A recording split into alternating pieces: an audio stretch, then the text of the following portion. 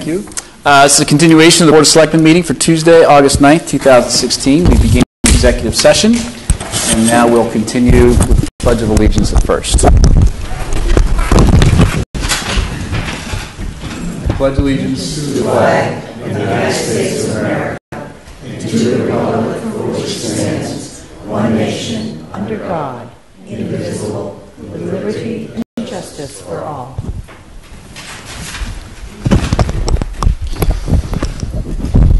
You. Is there anyone here this evening that would like to address the board to share their ideas, opinions, or ask questions regarding their town government? Speak now or for at least two weeks, hold your peace. Okay, seeing none, thank you. Chief Slaman, please join us at the podium. Where is the podium?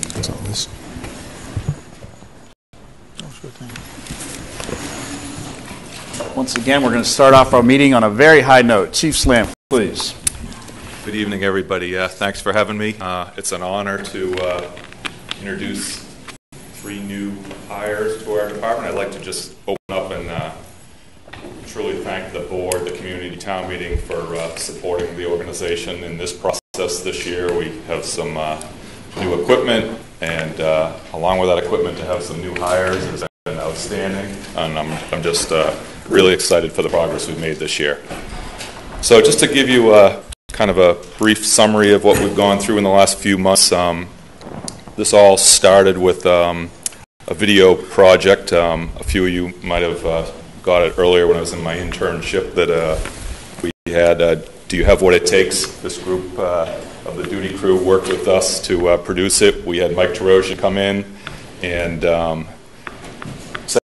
uh, shoot a video with the help of HCAM. We uh, sent it out and advertised for personnel um, using uh, social media, the internet, and uh, we didn't do anything through, um, you know, paying for advertising. And we had a great return. We probably brought in over 30 candidates. Um, in our interview process, we found that they were motivated. They had most of them, I'd say, had seen the video, Maria, and uh, it was just uh, kind of a success story for a first adventure. So uh, after the video, I did a, quite a bit of work with um, Maria and her HR team. I had uh, Jessica and uh, Anne Marie really help me through a process that I didn't realize how deep it was to uh, interview and do the details of that that work. So thank you very much. Um, and just along that line, the final thanks would go to I had all my uh, shift lieutenants involved in the interview process. For many of them, it was the first time they got to uh, get a feel for the candidates before they came in, and just in the three or four weeks now that we've been working with them, I feel like it was a real connection and helped us get off the ground uh, quicker. And then finally, the uh, police department gave us some assistance in the background with um, some background work, and that was a, a real asset for our uh, end product. So thanks for everybody. So, kind of just to get into the uh, orientation of the candidates, they've spent uh, two to four weeks now, depending on their start dates, with just learning the fire department. And um, I'm going to introduce to you the uh, three selections. So one of them is a, a replacement for a retiree, and the other two are new day positions uh, working for us during our higher call volume. Any questions? Doing good? So far, so good. Okay. So, first off, I'm going to introduce uh, Zach Ingraham, if I can have him uh, just come over to this area. So, Zach is a uh, graduate of Danvers High School. He uh, worked as a uh, call firefighter for the Hamilton Fire Department. Um, he had a lot of great fire background that we found in his interview. He had some real depth and knowledge for what I consider to be a real youngster. Um, But age has nothing to do with employment at Hopkinton Inc., right? no, I was just really impressed with the uh, his his, depth, depth was amazing. I'm just messing with you. So, uh, Zach is a uh, graduate of a call volunteer recruit training program. It's a 320 hour program that um, literally they're volunteers that go during nights and weekends and get trained to the level of what we send out as a uh, career firefighter trainer. So he did that on his uh, own. He is board certified in 2013 as a, at the firefighter 1-2 level, which is the starting level for a career firefighter. He is a certified hazmat operation level technician at, uh, in 2014. He went and put himself into paramedic school with uh, Pro EMS out of Cambridge, which is a high level. We get some side training from them. They're a pretty advanced program. And uh, he's nationally certified as a paramedic. Would you like me to bring all three candidates up before we do some questions? Please. Okay. So my uh, second candidate is Ariel Van. And uh, Ariel is a graduate of Mass Conomet Regional High School, and she's also was a, in a uh, Topsfield Fire Explorer program. Um, she's worked as a call firefighter and is currently does some shifts for Boxford, and um, she was a member of the Acton Fire Department. She has training 2015 of a uh, career fire recruit program. She is pro board certified firefighter 1 2. She is certified operational level hazmat. She is a graduate of the Cambridge Pro EMS program, uh, paramedic. She has, uh, in 2015, taken training in firefighter survival skills, trench rescue technician level, confined space technician level, which is the highest level you can do, and um, operational uh, advanced emergency vehicle operations. And uh, our final candidate is Paul Finnering. So Paul is from uh, a graduate of Norwood High School. Paul has uh, got experience on the uh, medical side with uh, Lyons Ambulance Service.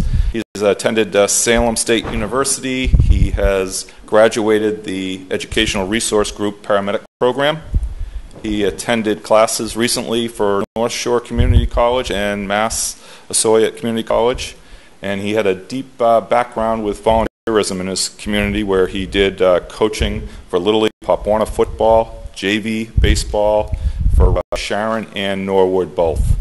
Um, I think the proudest thing I can say about all three candidates was for um, new firefighters, the depth and experience that they brought. Um, we have Zach and uh, Ariel, both are ready to go out on a truck firefighters coming in the door, and Paul has some deep medical skills. So between all three of them, as new hires, they've been working as a team.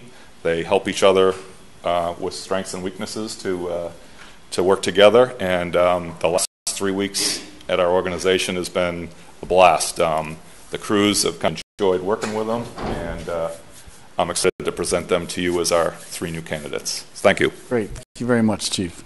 So, uh, how many um, how many candidates do we have again? We started with how many? We had a, a little over 30 in the pool. We broke them into three groups. We've gone through two groups. We had quite a few applications that weren't quite to the criteria level that we had advertised, which was high, but there was some real strong interest. And that third group we're about to look at, and many of them have all the credentials at the top level now. So, uh, pretty excited about that. So we started with 30, and we have three. So congratulations to all three of you for making it through the process. Uh, we're excited to have you on the team. It's good to have some new energy in the department, and uh, you're going to have great careers here in Hopkinton, and we're lucky to have you. Mr. Tedstone. I don't have a whole lot to say. Uh, welcome aboard. I know that the, the uh, process that you've gone through, knowing the chief for a long time, could not have been easy.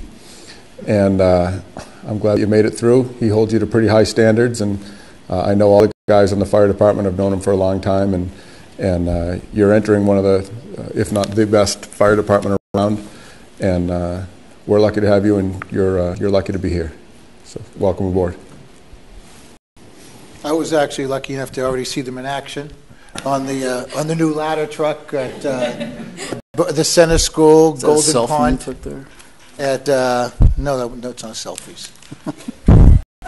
and um, yeah, it, and you know, just the, the professionalism that they that they exhibited working on the uh, new ladder truck was great, and then also coming in to help out residents at uh, Golden Pond already.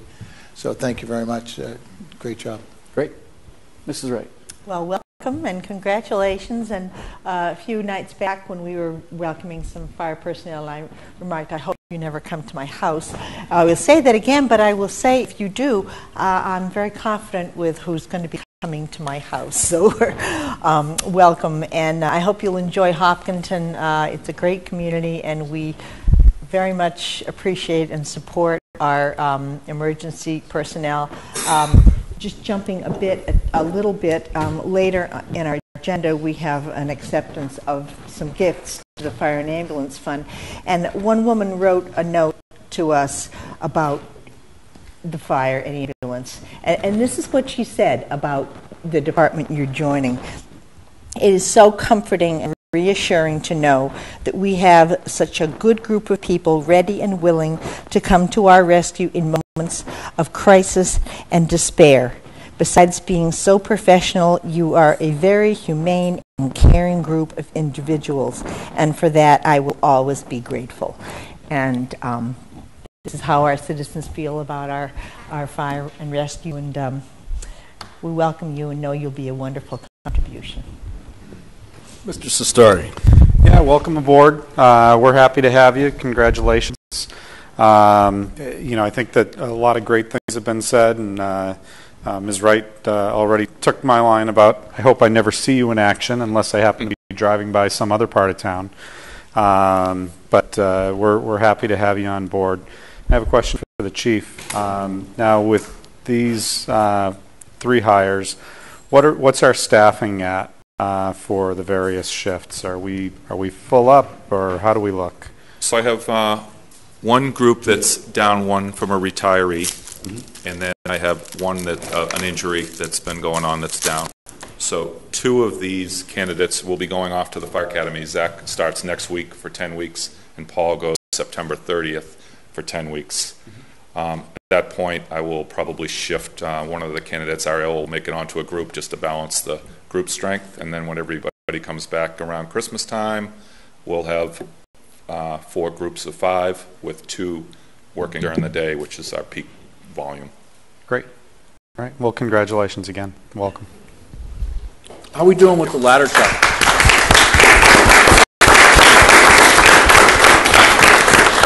To have them talk. Chief, how are we doing with the ladder truck? Uh, fantastic. The ladder truck was the big project today, so these three plus the duty group uh, spent probably two thirds of today um, setting up and organizing equipment. Um, it does next week. It goes down to Bulldog to get a last full go through. I will probably be running it um, as a uh, soft start during the days, but starting this week uh, just making sure we have the right equipment on it. Everybody's up to snuff. I suspect by September 1st, it'll be like servicing our community and available for everybody else, kind of officially online where everything's done. So, do we have the decals and everything on it? We do. We did our first pass on decals, um, and there's actually a couple pieces we've been trying to be, um, what should I say, uh, conservative with our we, we're, actually going to add a couple more decals on it just to spruce it up. It really is going nice. No surprises. You don't have any major costs. So um, it, it, has some decals on it right now. It's actually getting a little more Thursday, I believe. Okay, great. Welcome, all three of you. Congratulations on your new appointments, and we look forward to seeing you around town. They bunch of family members here, and I don't know if we want to snap a quick picture or something like that. Absolutely. It's kind of nice uh, just to do a, a little something if you can. Family members? Chief, right Chief, would they like to say anything? Oh, nice. I think you should. Uh, Brendan. All right, Zach. Additional So thank you guys very much. Uh, this fire department's great. Uh, the one I previously worked for, you know, the equipment was nothing like this. It was very hard pressed to get things. Uh, this place is awesome. You guys really give us everything and more. Uh, the chief's great. All the lieutenants are great. I'm very excited to be a part of this community, and I thank every single one of you. Excellent. Thank you. Ariel. Hello. I just want to say thank you. This is such a great community since day one walking in the door. Everyone has been so helpful to me, and just it's so great to be part of this organization. The fire department has been great, and everyone else is just, you can tell that everybody loves their job when they come to work every day, whether it be such as yourselves, police, fire, anywhere. They're just great. So thank you from the bottom of my heart. Thank you. Hello. Uh, probably sound like a broken record, but I want to say thank you to all you guys uh, for the opportunity to work here. Uh, this is all new to me. Everyone's been great to me, and uh, uh, happy to serve the town of Hopkinton. Thank you. Lucky to have you. Thank you all very much. Do you guys want to do a picture real quick, Chief, or do you want to do that? All right. Bob, you're going to help us? Uh, get a little picture or something? Who's in it? Would they please stand, whoever's in it? The Yeah, if you want to jump in the picture, come on up. All right.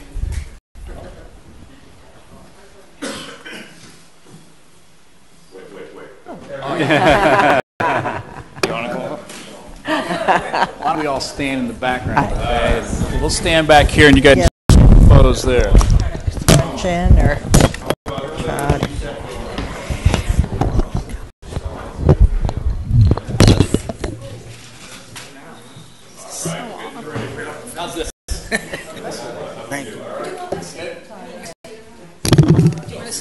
You want to stand? You are going to stand. Oh, what a good-looking group. Now, we have someone hiding in the back, ma'am. No, no, ma'am. Uh, yes, ma'am. Come a little closer. All right, that's very, very nice. Um, who can hold this for me? All right. I weigh the same whether I'm standing or sitting, right? Fire department say, no, no, don't scare. All right. Oh my goodness, what beautiful smiles. You've got a lot of EMTs here. Uh, Should let's you turn camera on. All right, come on, everybody. Uh, let me do my photography. Yeah, whoa. All right, very good. Excellent. One more time. Uh, y'all look so great. Where's the big smiles, though? They're there somewhere. The selectmen look rather, uh, rather really professional. Thank you. Steve, you take that. You take that. Especially this weekend, we're going to put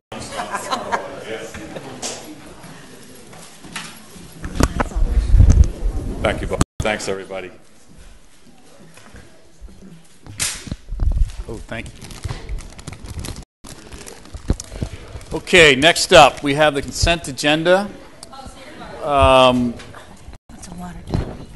First and foremost, on the consent agenda, we've got the state primary warrant. I saw our town clerk here this evening um, earlier, so we will be voting to approve that state primary warrant. Uh, Second, we've got some gifts of $50 from Angela Velasquez uh, from Hopkinton and $500 from the, from the estate of Flora Bosconi uh, to the fire. Those two gifts are for the fire ambulance fund. We have minutes of 5-2, 5-3, 5-31, 6-21, and 7-12. We have a parade permit uh, from Stephen Hartman of Commander Soft Pants, Inc. for the closure of a portion Fruit Street near the Fruit Street Well Building uh, for September 7th between 7 a.m. and 6 p.m. And looks like uh, number five, a storage of flammable liquids license. Uh, Board of Selectmen will consider re-signing six storage flammable liquid licenses from EMC for 80 South Street, 117 South, 171 South, 176 South, and 228 South. Chief Slaman's still here if somebody wants to talk about that. And uh, item number six, the appointment of election workers. The Board of Selectmen will affirm the election workers' appointments uh, as presented by the town clerk. Mr. Khumalo, please. With your permission, I'm requesting that uh, the board take no action on item number five, storage of flammable liquids. Okay, we will scratch item five from the consent agenda. Any other comments, Mr. Khumalo? Does anybody have an issue scratching number five from the consent agenda? Okay, seeing none. Does anybody have anything they want to break out of the consent agenda? The only thing I saw was on the uh, appointment of election workers. There's someone in there that's uh, sold their house and moving to the Cape.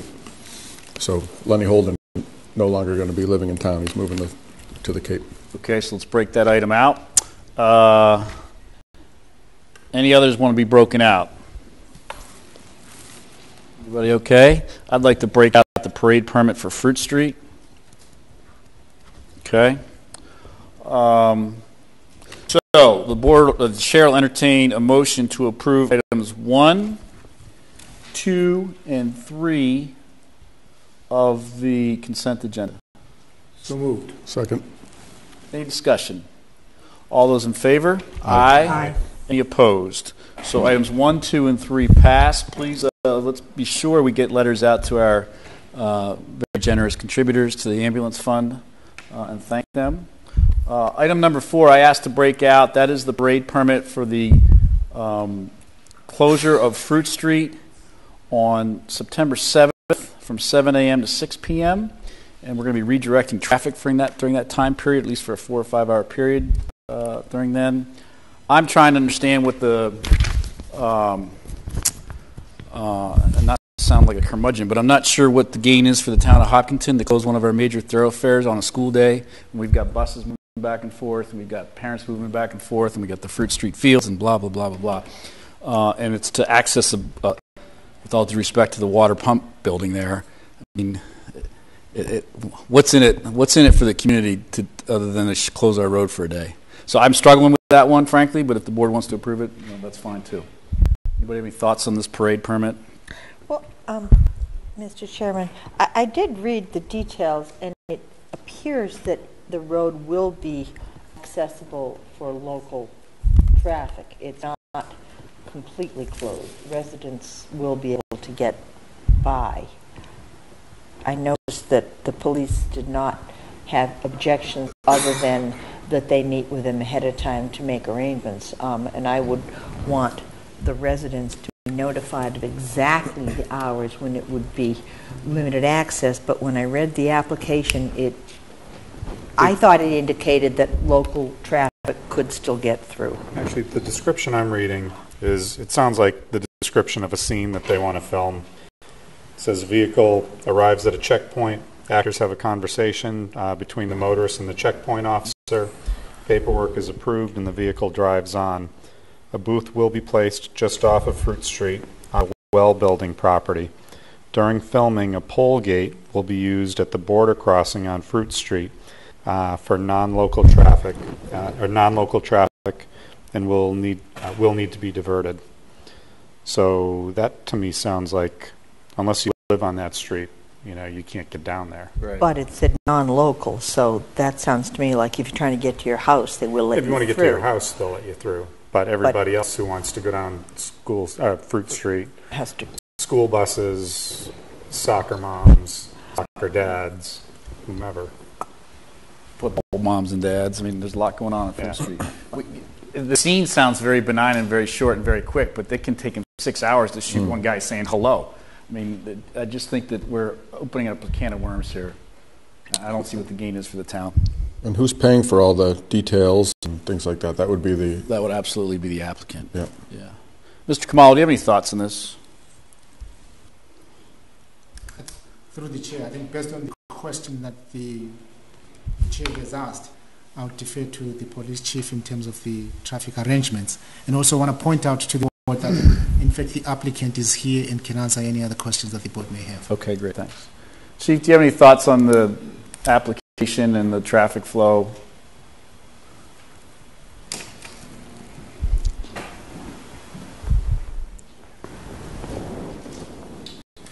Mr. Chair, uh, a member of the uh, movie production team has already been in contact. That was our big, uh, request, was to make sure that someone, if this was allowed, that uh, they would meet with us and start the planning process and go over the traffic situation.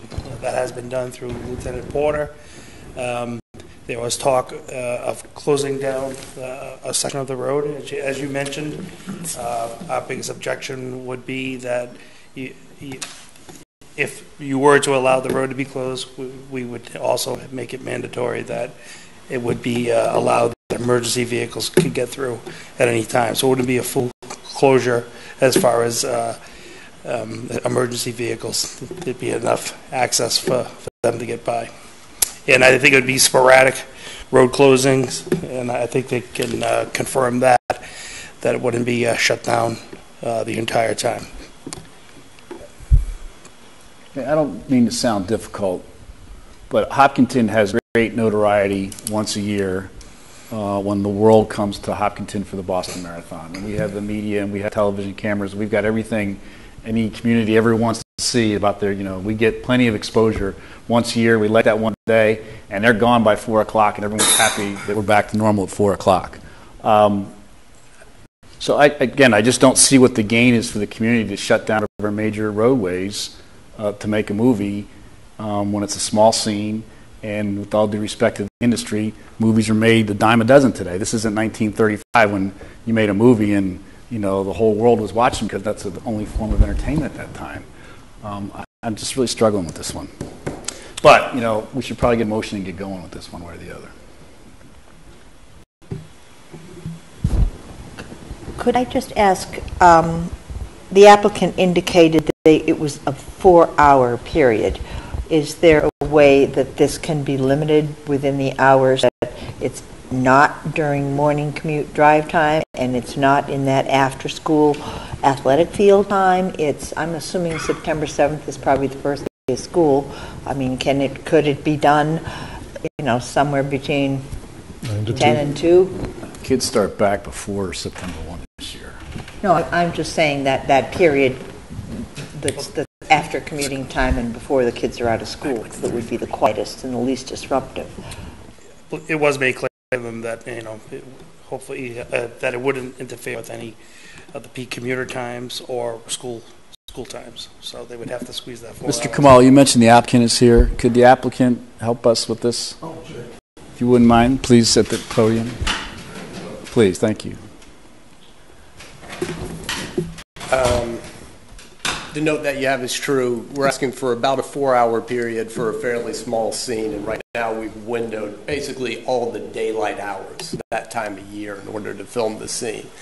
Um, It probably, we could probably film it outside of the commuter hours. We could uh, definitely make sure that school bus traffic is completely allowed through whether schools letting, I know schools start and stop at all different so school buses would always be allowed to get through. The pull gate is not to block traffic, it's actually just part of the scene where the, the guard is there and there's a gate down.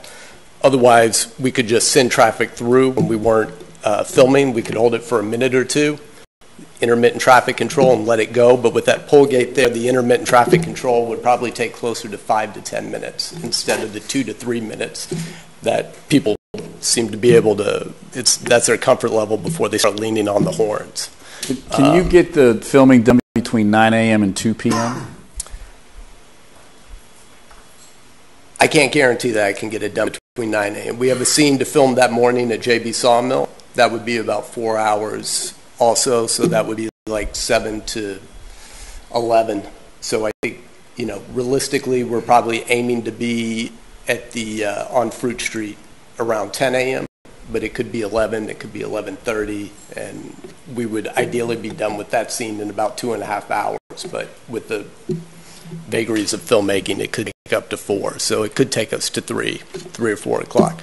What we could do is try to film the scene, and I can't speak to uh, for the creatives whether they can actually do this, but there's parts of the scene that don't involve the person at the guard booth. So we could try to film that aspect of it and only be using intermittent traffic control after 2 p.m.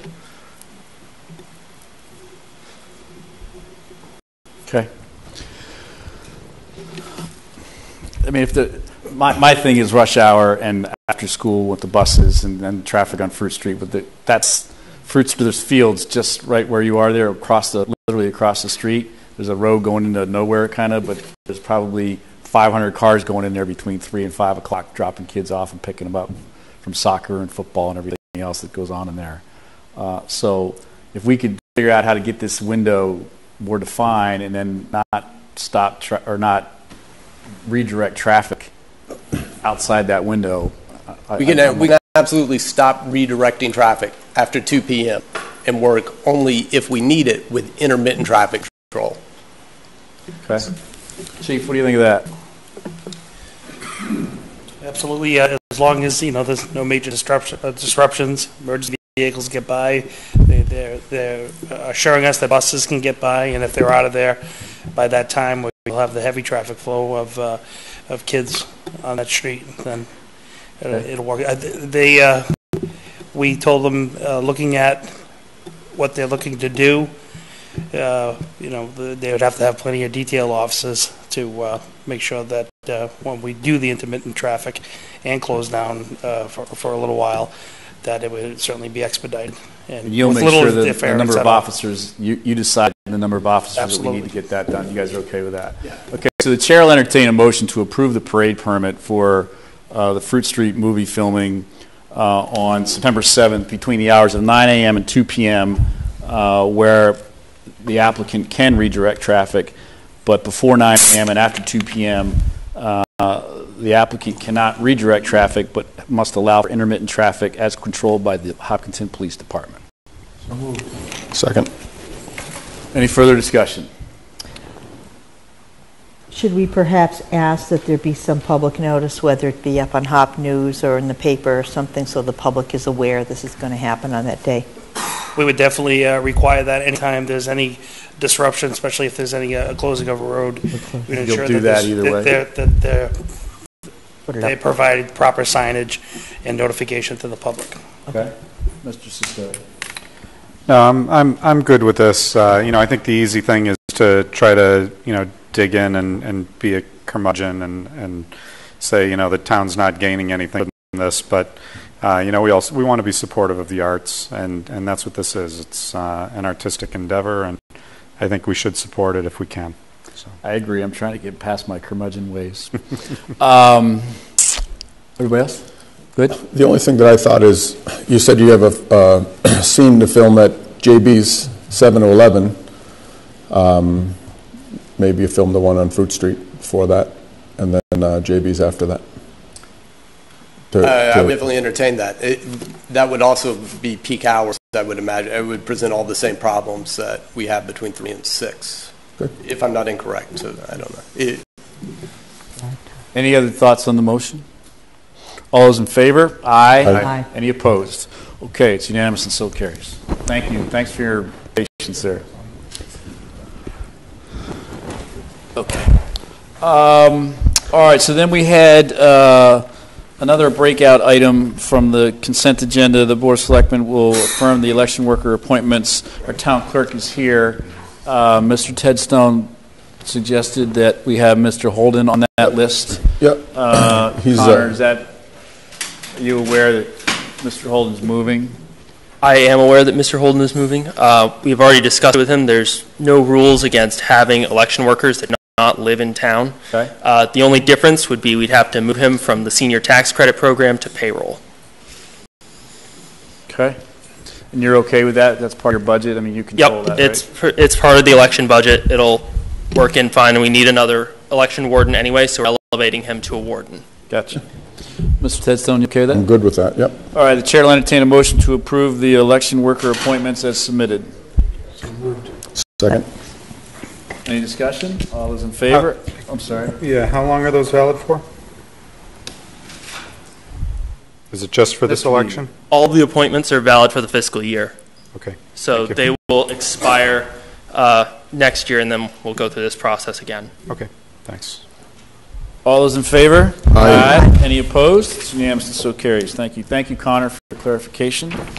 Uh, Next on the agenda, item number four, the Board of Selectmen will consider accepting the following resignation. Owen Mangan from the Personnel Committee. Mr. Khumalo. Yes, um, Mr. Mangan has been uh, a great asset to the committee. Uh, she has, he, he has been instrumental, in fact, in uh, helping us professionalize uh, some of our processes, given his expertise. And I think this is an opportunity for the to celebrate his contributions as well as, uh, uh, as usual, uh, extend, uh, uh, send a letter of gratitude to Mr. Mangan. Absolutely. The chair will entertain a motion to con- approve the, uh, or accept the resignation of Owen Mangan from the Personnel Committee. And a second? Any discussion? Yeah, Mr. Kamal, obviously, we would want to get a nice letter out. I'd be happy to sign it on behalf of the board, uh, thanking Owen for his contributions. All those in favor? Aye. Aye. Any opposed? Thank you. It's unanimous, so carries. Item number five. Um, Mr. Kamal, can you introduce the board and the community to this discussion item, please? Yes, uh, through the chair, uh, let me ask Mr. Ablove to join us at the podium. I, I felt it was important that I bring him to uh, meet with the board and introduce himself and his business plan to the community for the following reasons. As we always say, we're open for business. Uh, number two, we've also been looking for opportunities to strengthen uh, our business footprint and commercial footprint here on Main Street. Uh, and, and, and, and having uh, Mr. Ablove uh, join the, uh, the business sector on Main Street, I think, is, is, is, is a great asset for the community. And then thirdly, I felt though that his, his business plan presents an interesting concept uh, that I needed to bring to the board's attention. Um, number one, I looked around to see if we have any commercial kitchens in town. I couldn't find any. Uh, number two, he's introducing the carry-in aspect to his business, and, and that's a topic that I thought the board would be interested in engaging uh, with uh, Mr. Ablove on. Okay, thank you. Our current policy, when we voted that back few months ago, the concept of BYOB came up. And at that time, we didn't really take any action directly. We sort of just put it off to the side, correct? That's correct. By doing so, we didn't regulate it yay or nay. We just put it off to the side. We don't have any other BYOBs in town. I'm not aware of any that have been in town the last 15 or 20 years that I've been here. Um, okay. So, with that, Mr. Ablove, if you want to just say hello and introduce yourself, talk briefly about your business and your plan, and then uh, we'll kind of take it from there. Absolutely. Um, so first off, thank you to uh, town manager and Maria and to the board for allowing me to come in and introduce myself and talk about my business. I'm the executive chef and owner of the Chef's Kitchen on Main Street, which will be located at 42 Main Street, um, next to Swoon, behind Yogurt Beach. Uh, honestly, couldn't be happier um, about putting my, my business on Main Street and here in Hopkinton. Um, I've been privileged to, to know and, and work in this town for quite some time. Um, I'm very excited about, about the opportunity to really become an active part of the business community and the, uh, the community at large. Excuse me, here in Hopkinton. My vision um, is I have a passion for food, and I want to present food experiences to my clients through a variety of means, um, through cooking classes um, for adults as well as kids, through private chefing, through catering, um, through uh, corporate catering, and I've had uh, several discussions with uh, the Hopkinton Center for the Arts about partnering with them and, and their programming um, to bring the you know food and culinary experiences to a, to a broader range of people. Um, as the town manager mentioned, I have had discussions about uh, BYOB um, allowance for my business on site for the, the cooking classes. Um, I want it to be a, great experience. I've always been privileged to have food um, be a way of, of expressing myself and opening up relationships with friends and families and colleagues. Um, and I want to be a, a vibrant part of, of this community. Um, again, provide amazing food experiences and, and become a part of Hopkinton. Great. Thank you for that introduction. Mr. Cestari, any thoughts, questions? I don't have any questions. I think it's, uh, I mean, it sounds like an interesting concept that you're trying to bring to town, something different that we don't have, and I don't know of uh, being in any of the area towns. So uh, um, I'm, I'm just a, a, hobbyist in terms of being a foodie, but uh, it sounds pretty interesting. Thank you. Good luck. Right. Uh, it's a really interesting concept. It sounds like a really nice contribution to the downtown and the town. Um, I was just kind of curious as to um, when there would be food consumed and the BYOB. Would that be when there is a cooking class and then your students eat the meal that they prepared, or when would people be dining in? So the dining in will take place at, during the cooking classes. Um, so typically they're three to four hours duration. Um, the folks come in um, the mac- maximum occupancy of no more than 12. Uh, we have a preset menu, and we spend time um, in the back of the house in the commercial kitchen preparing and, and cooking the food and then plating the food. Um, the front of the house will be a big family 12 foot uh, farmer's table, um, try to make it that, that home away from home concept. And that's where if my patrons would like you know, the opportunity to enjoy a glass of wine with the meals that, that they're bringing to the table. So it would be in conjunction with eating the results of your cooking class, basically. There won't be any walk in off the street restaurant type. No, ma'am. I'm not. I'm not a restaurant. I'm yeah. not a bar. Um, that's not my. That's not my business model. Um, I'm not equipped to do any of it, and, and quite honestly, I'm not interested in running a restaurant. But there will be, um, you will also have food available for purchase and takeaway that is prepared there, or is it strictly uh, uh, Right, right now, Classes. right now, I don't have a retail component in my business plan. it'll be either the private chefing or the in-house classes where then your students eat, eat the meal that they've prepared? Yes, ma'am, that's correct. Sounds neat. Mr. Tedstone. The only thing I thought of is a liability. Who's, if someone comes in and, and has a, goes through a cooking class and has two or three bottles of wine really quick, who's, uh, Yes, so, so you know, first off, um, I, hopefully nobody will be having two or three bottles of, of wine um, during the cooking classes. I do have all the appropriate um, um, insurance policies um, taken out in conjunction with, with this business through, through a reputable firm. Um, I'll have my Serve Safe alcohol certification as well. Um, you know, I, I can tell you that I'll have processes in place to make sure that there are limitations, um, as well as contingency plans with regard to local transportation services that are available. Um, you know, my background is this is this is my business. This is how I put food on my family's table. I'm not going to risk it for over for over a glass or two. sounds like you've done your research. Thank you. Absolutely. Mr. Coutinho. Yeah, this is really great out of the box uh, thinking for that uh, that spot because people were worried that um, for to have a full service restaurant there may not be enough parking, the, uh, the traffic, and all that. So this is this is just a really great concept, something that the that the town really think could use uh, culturally and and, and um, uh, it's just a, a, a nice little gem. Thank you very much. I appreciate that. See people downtown. So, Mr. Sister. Yeah, I just had a couple more thoughts. Um, so, I guess what are uh, what are the legal restrictions around something like this? Is it basically, and I'm and I'm not trying to put anything into your business plan, uh, you know, or, or assume that it's in there, but um, by us not having any restrictions, are there literally no restrictions? Uh, is it just beer and wine? Is there hard alcohol allowed? Um, what's allowed with the BYOB?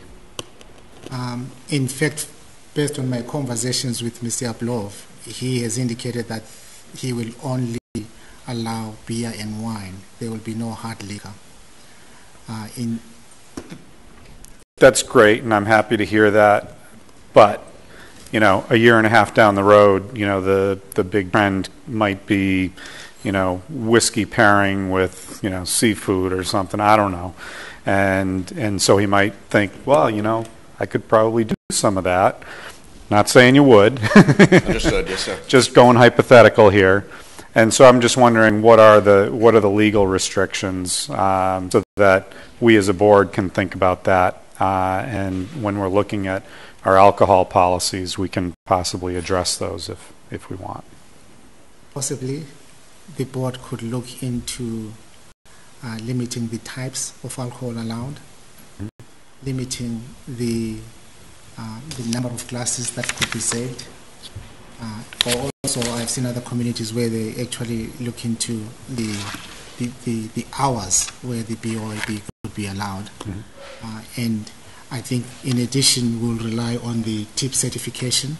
Uh, I think it's, it's, a, it's a good instrument that we've relied on uh, in other instances. Um, the town does have an opportunity to develop its own regulations.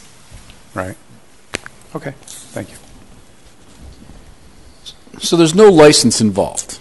No license involved. And because there's no license involved, how can the board protect the community outside the good intentions of the owner, like we do elsewhere? I mean, there's alcohol being consumed in a public place where the public can walk in the front door. Uh, how do we how do we control that? How do we regulate that? There's one of the obvious option. The, the policy that the board approved takes effect January 1st uh, of next year. Uh, and I, I do believe strongly that at the time the board decided not to develop any regulations for carry-in uh, events, uh, at that point, um, we had not anticipated having one show up immediately. Um, and so my, my recommendation Must to the watching board our is, meeting. uh, there's still an opportunity to, to revisit the regulation. Uh, I, I think, given the fact that we have had an applicant come forth, we now have a better understanding of what this entails, and therefore are more informed uh, in terms of what regulations could be put forth. So, so is it, is it, um, but he wants to get going sooner than that. Our policy is set to take effect January 1. Um, he wants to get going sooner than that. He could proceed with the understanding that a policy is going to come in place if the board is so inclined that's going to limit it to beer and wine and it's going to limit maybe the hours to the same hours as other restaurants in the community, which would be perfectly fine for, your, I think, your model. Um, something along those lines. Does that sound like a reasonable approach to everybody?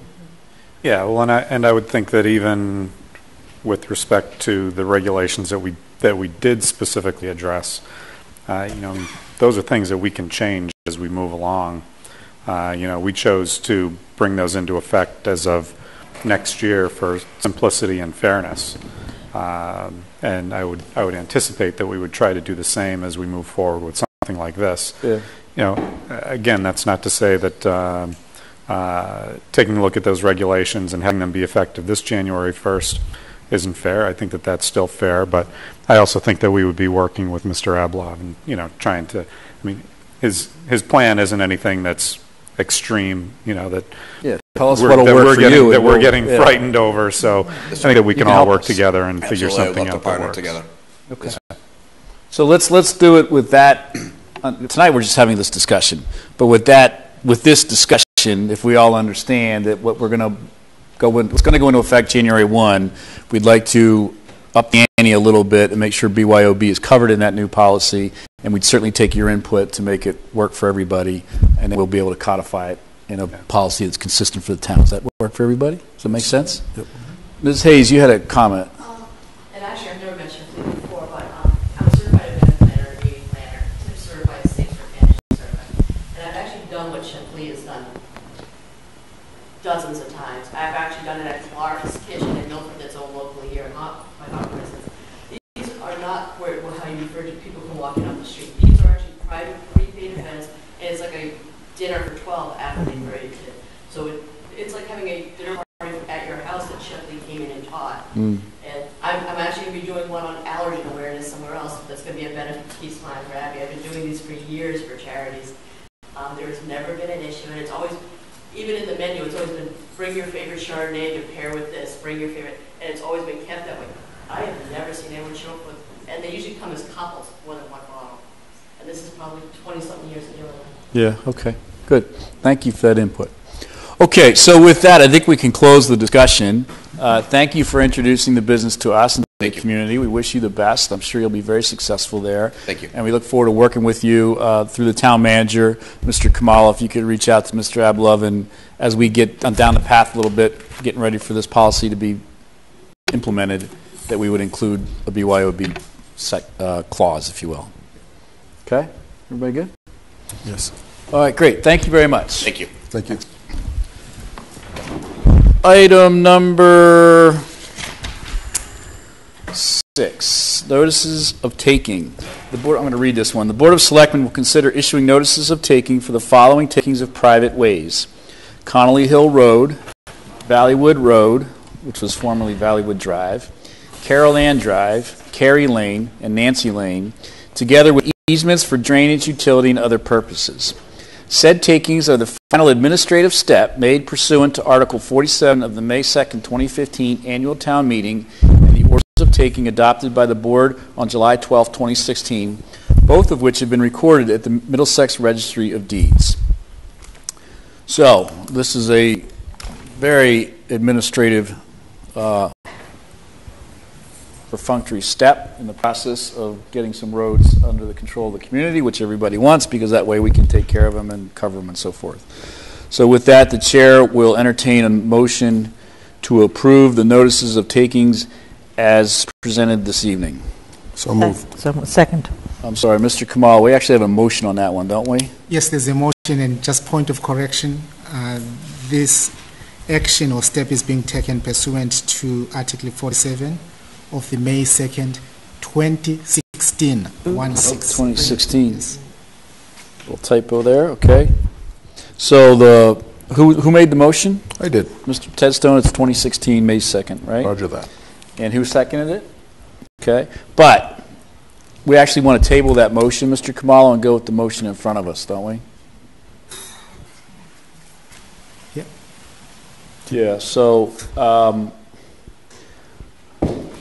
all right, how should we do this? Well, all right, there's a motion on the table, uh, and the chair sought that motion, and it was the wrong motion. So my mistake. Withdraw. Yeah, they can withdraw. Everybody, everybody good just dropping that motion? Yes. Don't even, know- don't need to vote, nothing. Okay, so that motion's off the table. Okay, Mr. Tedstone. Oh, Consider that motion, boy, please. That's great. With, begin with I. I move that the Board of Selectmen vote to issue notices of taking as contemplated by Mass General Law uh, 79-7C for the following takings of private ways, Connolly Hill Road, Valleywood Road, formerly Valleywood Drive, Carol Ann Drive, Kerry Lane, and Nancy Lane, together with easements for drainage, utility, and other purposes. Said takings are made pursuant to Article 47 of the May 2nd, 2016 Annual Town Meeting, a certified copy of which was recorded on July 19, 2006, at the Middlesex Registry of Deeds, Southern District, at Book 67642, page 100, and the orders of taking the- adopted by this road by the board on July 12, 2016, and recorded on July 19, 2016, at the Middlesex Registry of Deeds, Southern District, at Book 67642, page 101, Book 67642, page 103, Book 67642, page 105, Book 67642, page 107, and Book 67642, page 109, respectively. Now I know who can read good motions. Thank you. My Keefe Tech education. Is there a second? Second. We have a motion and a second for the notices of taking. Any discussion? All those in favor? Aye. Aye. Aye. Any opposed? It's unanimous and so carries. Thank you, Mr. Tedstone. Can I have that motion back, please, John?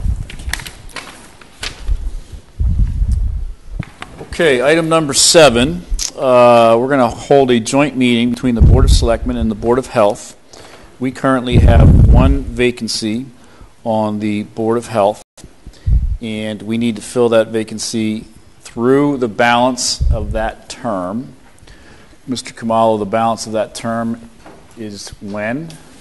Will expire at the May 27th annual town election. This coming year. Yes. Okay, so basically, we're going to make an appointment, perhaps we're going to make an appointment this evening for the one vacancy on the Board of Health. That appointment would go from the time the individual is sworn in until the election next spring. 2017. 2017.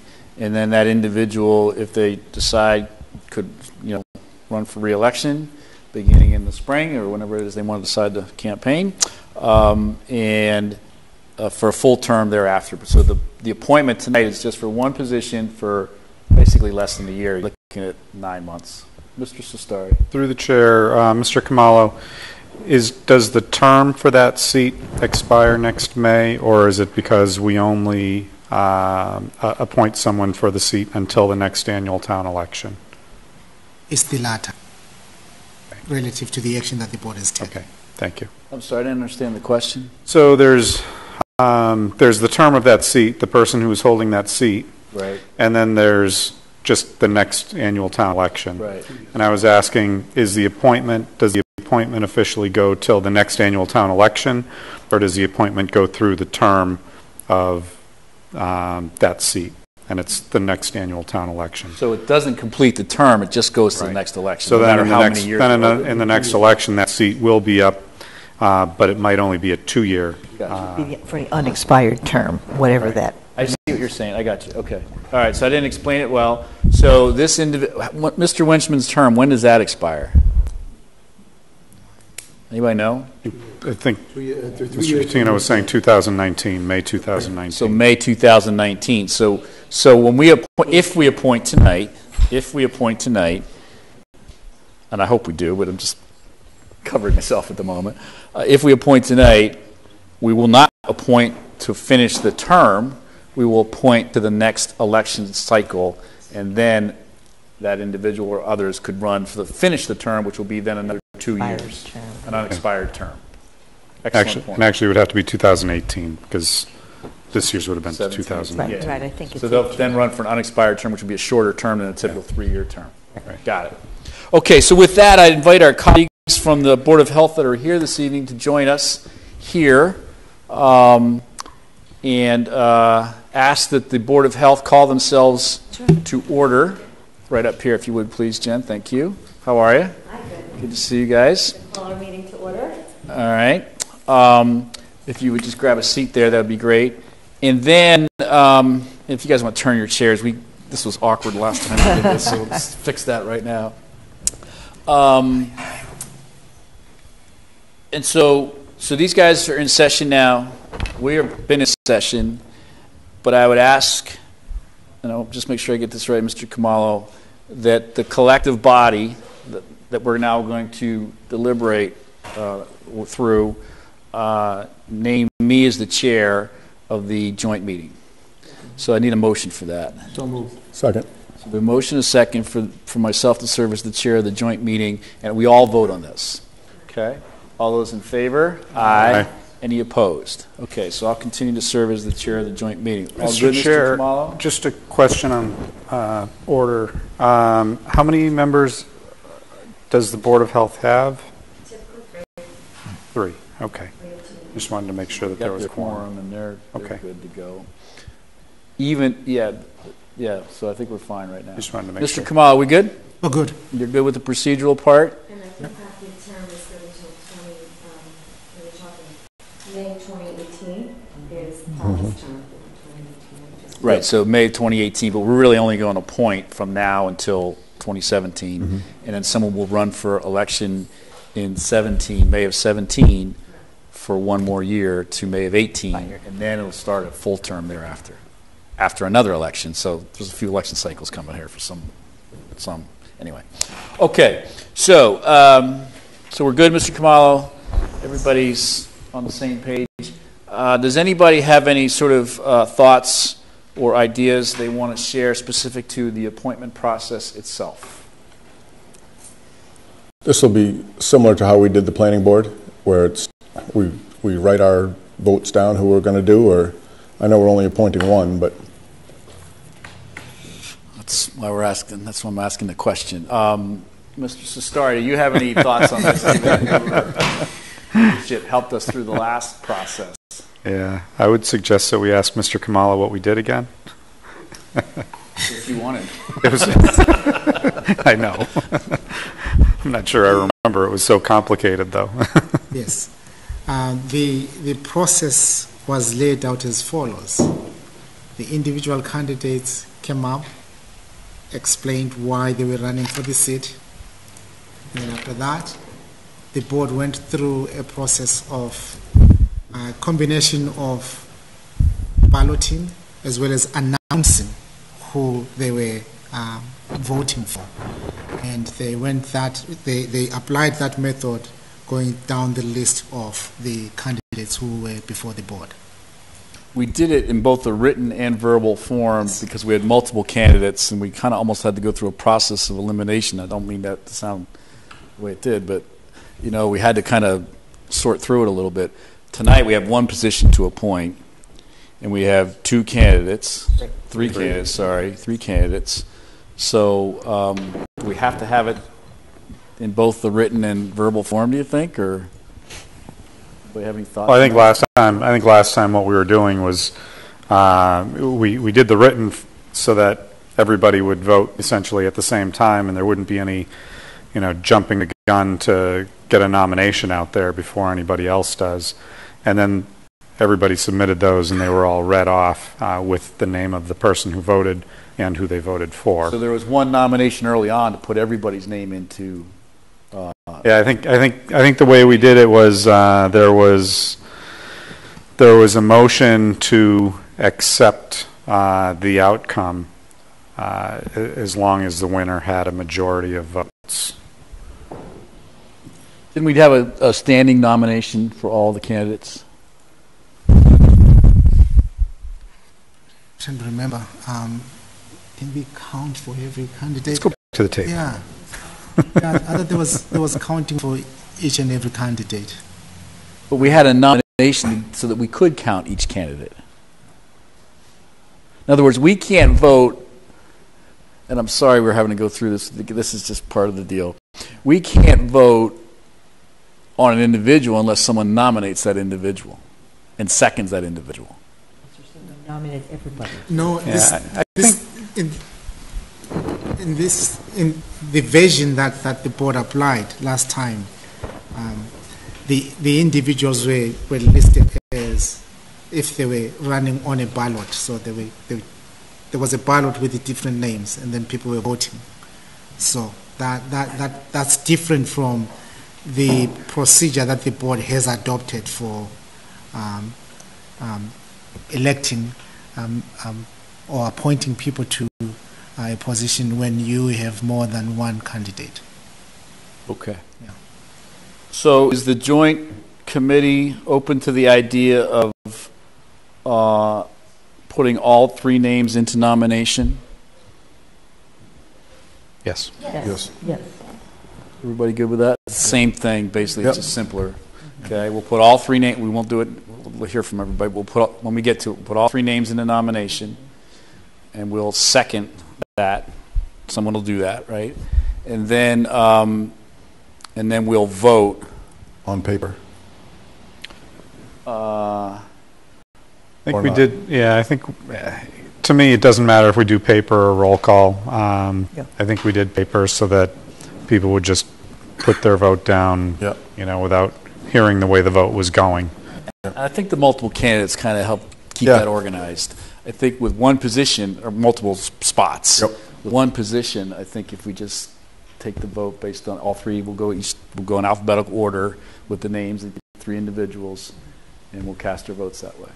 That's fine. And so we have seven members of the joint committee. So let's talk this through now, right?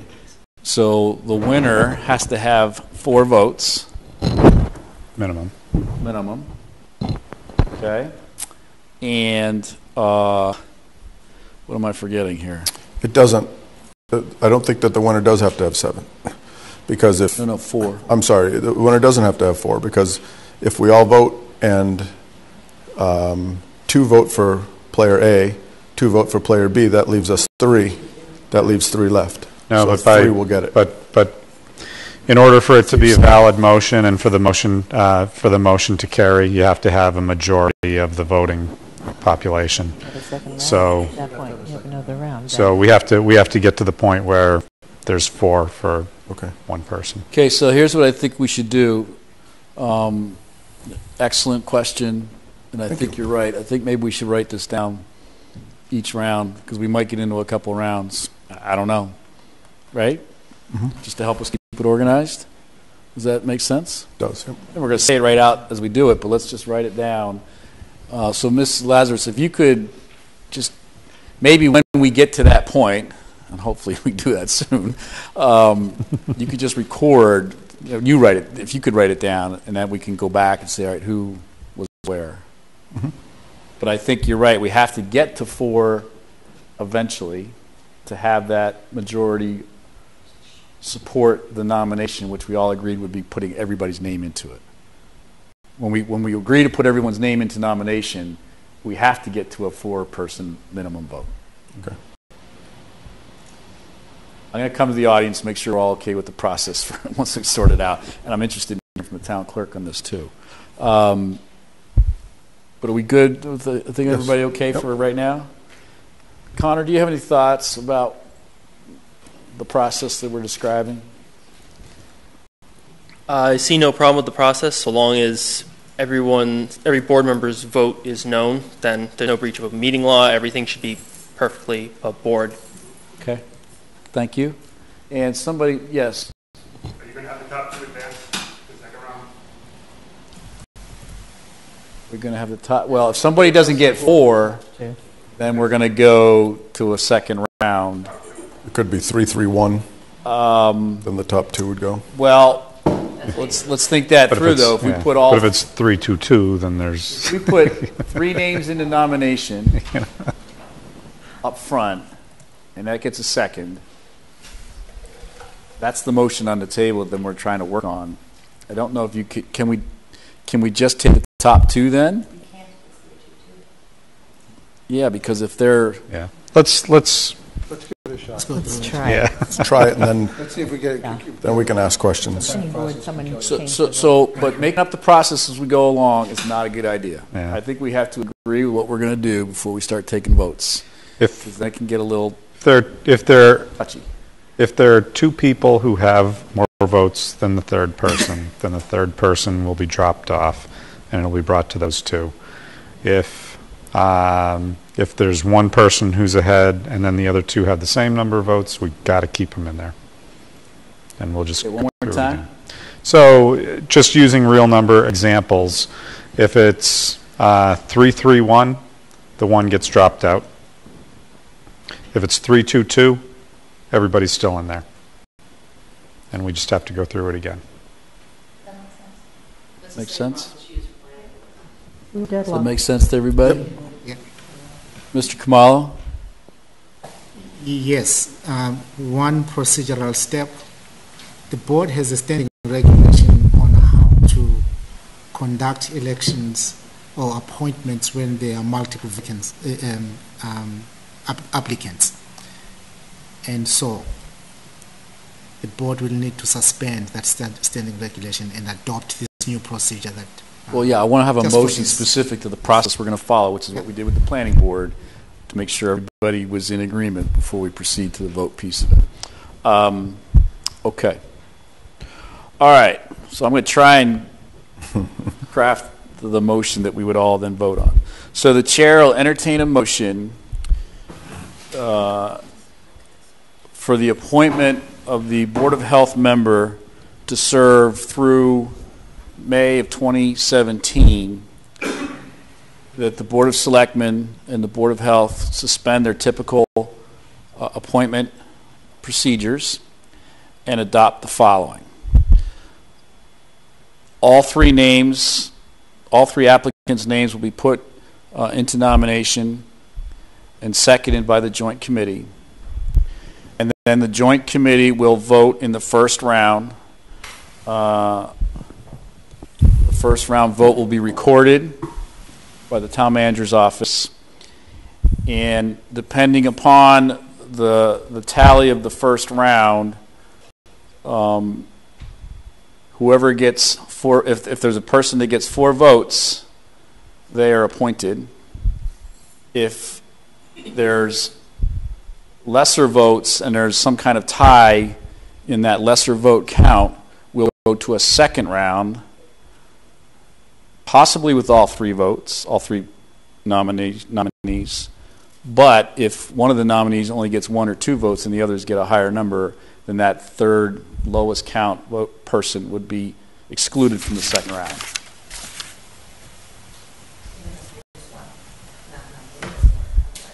Okay, thank you. I need my calculator for that. Um, so that's the, I think, the motion that the chair would entertain. Mr. Khumalo, is that a good motion that I should entertain? Yes, it, it covers all the aspects that the board appear to be building a consensus on. Suspending the standing regulation. All three candidates will be nominated and seconded and placed on a ballot. Um, the, there will be a first round of vote Uh, by all the seven members, and that vote will be recorded by the town manager office staff. If any of the candidates receives four or more votes, they are then appointed as the winning candidate. And if if if the if there are lesser votes, meaning if the, there is a three-two vote or two-two-one vote, um, then we will move to a second round. Uh, however, if any of the candidates receives only one vote, they will then be excluded from the second round. That's pretty much what I said. Thank you. Pretty much. Um, I think. Is there a second? So who wants to make that motion? So moved. We have a motion, and we have a second on the table for the motion for the procedure. Any discussion amongst the joint committee about the motion and the second? Everybody good? Okay, breaking with a little bit of protocol, I want to go to the public, those that are interested here tonight. Is there anyone from the public that has any thoughts about the motion and the second on the table? So we're all in agreement with the process we're going to follow. So if the process gets a little messy, we've all agreed to this, and no one can yell, right? okay, just want to make sure. All right, so all those in favor? Aye. Aye. Any opposed? So it's unanimous vote of seven to support the process outlined in the motion.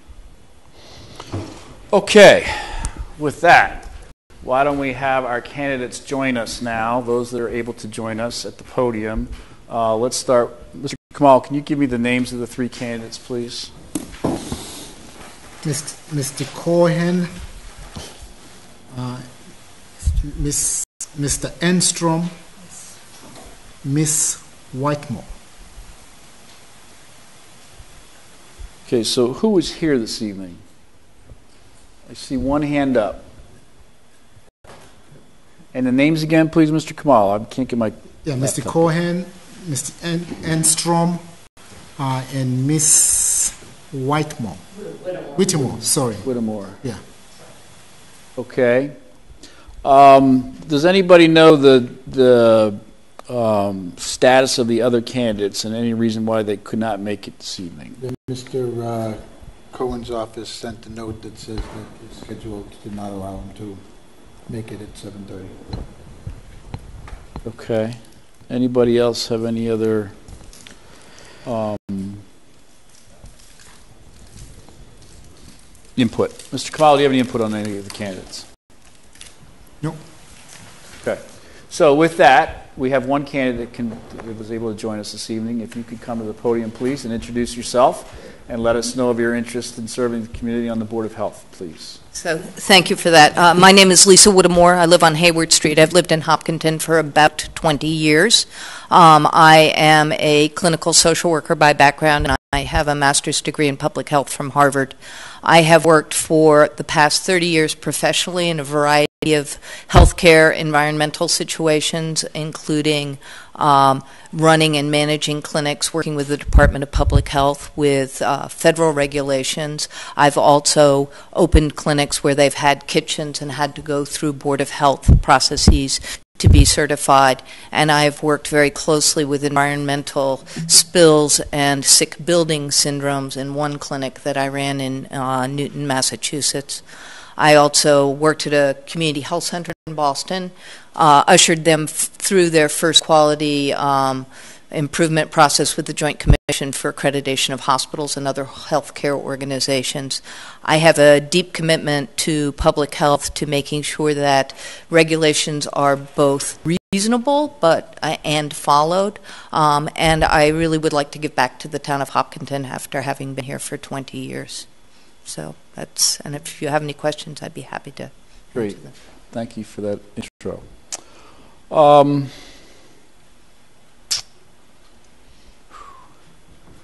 why don't we go with some questions for the candidate? Uh, why don't we start with our colleagues on the Board of Health first and see if you guys have any questions? Hi.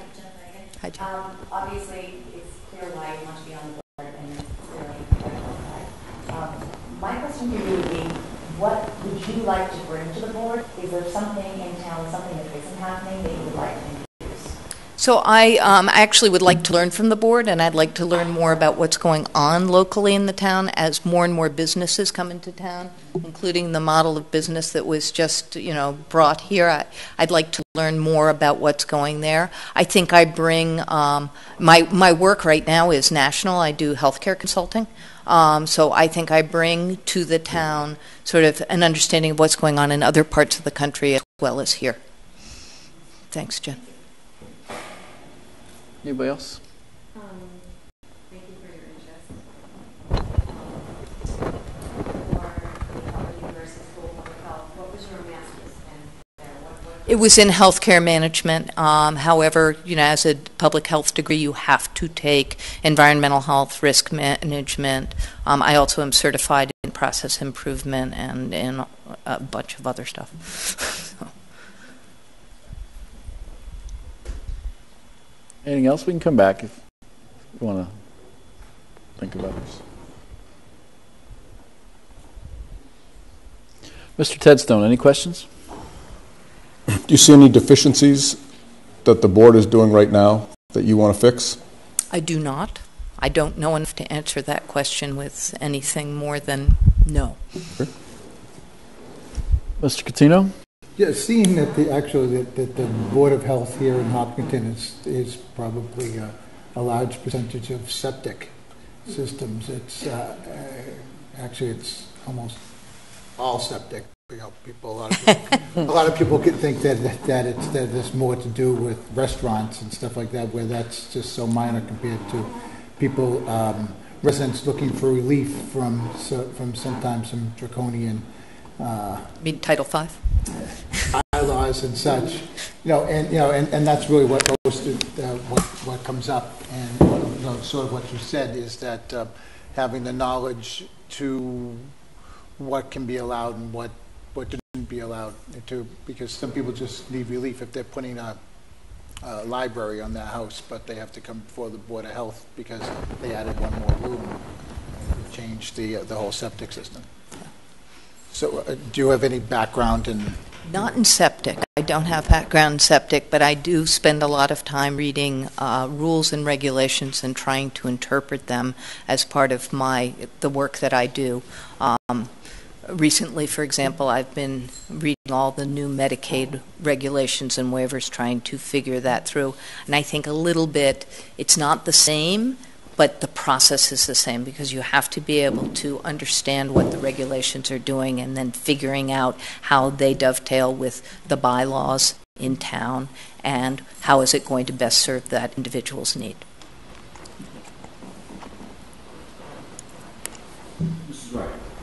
Have any questions. Uh, you said that you're a consultant and you travel nationally. Uh, how's that going to work with the schedule of the Board of Health? I have the best travel schedule, and I think I've been out of town seven nights in the last year, so Great. I'm able to do a lot remotely. Great. Um, I'm going to New York City on Friday, and I don't think I, ha- I have some travel scheduled in um, September, but it is not onerous. Yeah. Um, Great. Well, I, telephone and Skype is an amazing. I appreciate your stepping up. I appreciate your uh, being here tonight uh, for us to meet you before we vote. Um, and I don't have any further questions. Thank you. So when you when you get appointed to an elected position, you're kind of going through the election process with the president next. Mhm. Or less. Um, so please kind of bear with me as I ask some of this. What are your views on the overall development of Hopkinton today? So I think that development of Hopkinton needs to be carefully measured. I, uh, I am a strong supporter of open space. I believe that we need small businesses that are locally run brought into town and fewer national chains. I believe that we have to figure out how to maintain a vibrant business culture. We have a single rate tax system here so that it's not as though businesses are going to offset or because of the way our tax structure is, it's, it's not different. But I think that, I think that growth is fine. Um, I live over on the side of town that is zoned for commercial growth. Um, I, you know, I, I was not a big fan of the Price Chopper complex going in, and I will tell you that I patronize it a lot, and it's very convenient. I worry about traffic in town with with that, and I worry about the traffic patterns. I, I can hear directly from the train, and the reason why I did is you cannot get up 85 at this hour to get here and go back to Lake Maspenock and then come back right over here. Those are my views. Okay, thank you. Um, and in terms of the electoral process, sorry, eating candy earlier. Uh, in terms of the electoral process, What are your thoughts about running for election in 2017? I know that's ways out, but what do you think about that? So I, it's 2017. I mean, frankly, I would need to figure out what's going on both personally and professionally to commit to that, but I am certainly open to that process. I don't want to just do this for eight or nine months and then ride off into the sunset and say, well, I did that. Um, if, if I am appointed, I am committed to seeing this through, and I have every intent today, with everything I know, to run. You thought about running in 2016? In 2016, This past election? I did not think about running this past election. I had just changed jobs about six months prior, and uh, my mom died about a year ago, so I was just sort of in all of that stuff. Sorry to hear that. No, it was fine. Thank you, though. Uh, and have you done any other volunteer work? You may have mentioned this, or it could be in the application, but other stuff in the community? What other things? I'm on the done? Town Democratic Committee. Um, I've been ac- active in the Lake Maspenock Preservation Association, pulling weeds and doing other things like that. Um, I'm on the board of directors of a community health center in Boston that serves the Allston Brighton area. Um, I was the head of the Department of Mental Health Lynn Area Board years ago. Um, so I've done a lot of different stuff. And how about your thoughts about the weed control situation in the lake? oh, we are really. I told you, this is a campaign in 15 minutes. So I actually was the author of the amendment at town meeting in 2015 that created the weed committee. I wanted to make sure that we studied that issue very carefully before we moved ahead and we did something. So the, the weed committee has been studying, and I, th- I'm looking forward to their final recommendations, which I think are coming out in a couple So of are months. we. And I, and I think that's the way we should have done it. That it was a $60,000 burning a hole in my town-wide pocket. process under the auspices of the selectmen to bring people together with varying views to come up with a comprehensive weed plan, not just throwing pesticides into a lake. And that may be the recommendation, and I would be fine if that is a considered recommendation. But at least it's a studied recommendation. Okay, great, thank you. Sure? Um, Lisa, how do you feel about uh, working with other boards and joining with other boards? Like, say we have to work with Parks and Rec, or we have to work with Selectmen. Do you have experience doing sort of cross-functional teamwork? Yeah, um, I've run cross-functional teams. I, I was trained as a therapist for, and worked clinically as- for the first 20 years of my career. So um, I do a lot of cross-functional work, and as a consultant, it is nothing but cross-functional work. Thanks. Okay, any other questions for the candidate? Thank you very much for coming in this evening. And the other candidates, uh, Mr. Enstrom um, or Dr. Cohen, still are not with us this evening, correct? Okay. All right, so with that, we'll close the uh, candidate input. Uh, Mr. Khumalo, with the absence of these two candidates, do you have an issue with the board and joint committee proceeding? You- Can you see any procedural reason why we wouldn't proceed?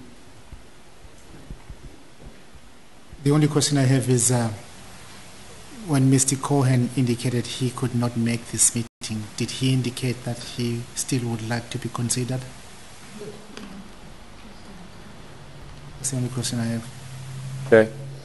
So uh, the chair will take the uh, uh, role of just giving a brief comment on each of the other candidates based on the information I have in front of me. Uh, Dr. Cohen uh, has expressed an interest in returning to the Board of Health. He was an elected individual serving on the Board of Health for, he was, yeah, can, can, so we agreed to a process earlier. The process didn't agree, didn't include kind of back and forth, right? So let's just stick with the process, please. Dr. Cohen served on the Board of Health. Uh, I believe he was appointed, and then you had to be reelected, just like this person would be, or appointed. Um, okay, so Mr. Khumalo, I want to get this fact straight. Was Dr. Cohen an appointed member of the Board of Health, or was he elected, or both? Let me check. Let me check. So I think that we had, we had ironed this out earlier during our meeting, and he was in fact elected. There was, um, I think it was Deb Holbrook had resigned midterm as well. Then we had a volunteer come in who had served out the remainder of that term, and then we had an election that was un- um, unopposed. Okay. That was just for the one year remaining in that term. One year remaining. Okay, so he was elected to that one-year term, And then was he reelected? No, that was it. So he served one year. He served one year as appointed, he finished out a year appointed, and then, then ran unopposed. And was elected again. and was elected. Was elected. Okay, when you, when, whether you're opposed or unopposed does not matter. You were either elected, or you weren't. Okay, so I don't want to get into the opposed, unopposed thing. That is not relevant. So he was elected, he was reelected. No. He was elected after he was appointed for the one year, then he was elected, and, and then he ran again and lost. Got it. Sorry, Mr. Chair, through you. Ed can clarify. I think that, I think we're, we're, I don't think. Ed, can you join us at the microphone, please? Can you share some knowledge about Dr. this? Cohen was uh, elected. Uh, Prior to Dr. Cohen, we had Nasabi, was an appointed member by the board.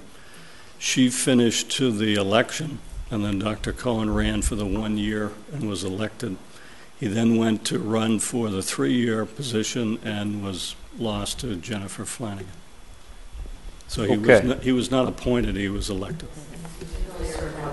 One year. Okay, so that is Dr. Cohen's history with the Board of Health. Does everyone agree to that? Okay, Mr. Enstrom, uh, and obviously he's a resident of the town of Hopkinton. Mr. Enstrom uh, is a resident of the town of Hopkinton. Uh, I'm not familiar with Mr. Ren- En- Enstrom uh, in the moment here, so if anybody has any knowledge of Mr. Enstrom's activities uh, in the community, please do share them. Um, He currently works uh, in uh, the food service industry uh, here in Massachusetts.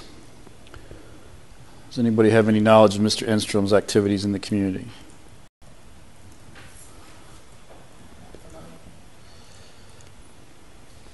Okay, so those are our other two candidates. So, um, with that introduction and with an agreed upon process that we have in place, uh, the chair will entertain a motion to place all three names into nomination to fill the uh, open seat on the Board of Health until May of 2017. So we have a motion and a second to place all three names in nomination. Mr. Khumalo, do we need to vote that motion to place all three names in nomination, or is the actual appointment process that vote? It's, I think it's, it's, it's appropriate for the board to vote the motion. Okay, so does everybody understand what we're doing? We're just voting the motion to put them all in. Um, I don't think that was necessarily in my motion earlier that we all agreed to, but I want to make sure we're good with this that piece of the puzzle. Right? Everybody okay? All those in favor of the motion on the table to put all three in nomination, say aye. Aye. Any opposed? Okay, all three names are in nomination. With that, um,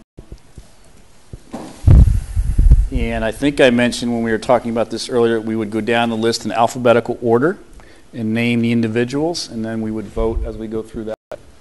You're not going to have any discussion. Um, yeah, we can. We can. Let me just get the order first. So Dr. Cohen, uh, Mr. Enstrom, and Ms. Whittemore, correct? Did I get it right? Whittemore. Ms. Whittemore. Okay. So we have three names in nomination. Who would like to begin the discussion uh, of the various candidates? Mrs. Wright. Well, I just wanted to say something in, in Dr. Cohen's behalf. Um, I think we're very fortunate to have three candidates, all of whom are qualified. Um, Mr. Enstrom, um, who is not here, has quite a number of years of experience in, in food handling and food processing, which is extremely relevant. And Ms. Whittemore has some excellent experience as well. Um, but it, just, I just wanted to speak regarding Dr. Cohen because um, Dr. Cohen not only has served on the board, but he ran. Um, beyond our seven votes here, Dr. Cohen received a vote of confidence from 795 people in this town to be selected to serve on the Board of Health. Um, he was only the only difference in the vote total was a small nine vote difference. Um, he went through the debates, he went through all the election processes, he was really willing to do the work to earn the position, and um, it was admirable. And um, I think there is really something to be said for someone who's willing to step up and go through the election process. And um, I, the fact that almost a thousand people in this town gave a vote of confidence to Dr. Cohen, um, I think should be weighed in this board's consideration, um, and hoping that all others will certainly continue to serve. But I think that is a, a significant endorsement that goes far beyond the seven people in this room. Thank you. Mr. Cestari. Yeah, you know, I mean, I, I know Dr. Cohen, um, very, very intelligent individual, nice guy, and I appreciate the work that he's done on the board. Uh, I also appreciate that he put the time and effort in to run for reelection uh, this past year. Um, I also appreciate the experience that Ms. Whittemore uh, outlined and her qualifications. And, uh, you know, prior to Ms. Wright speaking, uh, you know, I was, I was very easily going to say that, uh, you know, presence at this meeting certainly, certainly carries a, a big weight in terms of my vote. Um, then you start talking about 795 people voting for someone else, and it certainly makes it more uh, more of a difficult decision. Um, you know, this is this is something where it's one of our difficult decisions, right? Uh, and it's that's why we get paid the big bucks here. yeah. um, uh, you know, that's that's where my thought process is right now, um, and and I can't say exactly which side of the track I'm going to fall on. I'd like to hear more input from others. Okay. We're just kind of going around the table now, if that's all right. So I would we can say- come back to others too. We're not, this is Um, one I thing. know Dr. Cohen, and I think he's a great guy. Um, obviously, I work closely with him during this election, spent a lot of time with him. Um, I want to say that Lisa's advantage is going to be, first of all, she's been in town 20 years, where Dr. Cohen's been in town 12 years. So it's all about knowing the town, really understanding the town, the dynamics of the town. And I will say that I know that Lisa is extremely connected to the town. I honestly think that's really important. I think one of the reasons that I won, albeit only by nine votes, is because of how connected I am with the town. It's not because I was more qualified than her. You know, it was, it was connections, and I think that really means a lot um, in terms of the dynamic of how you interact with the community. So that to me is important. Um, I also think that Lisa's qualifications are outstanding.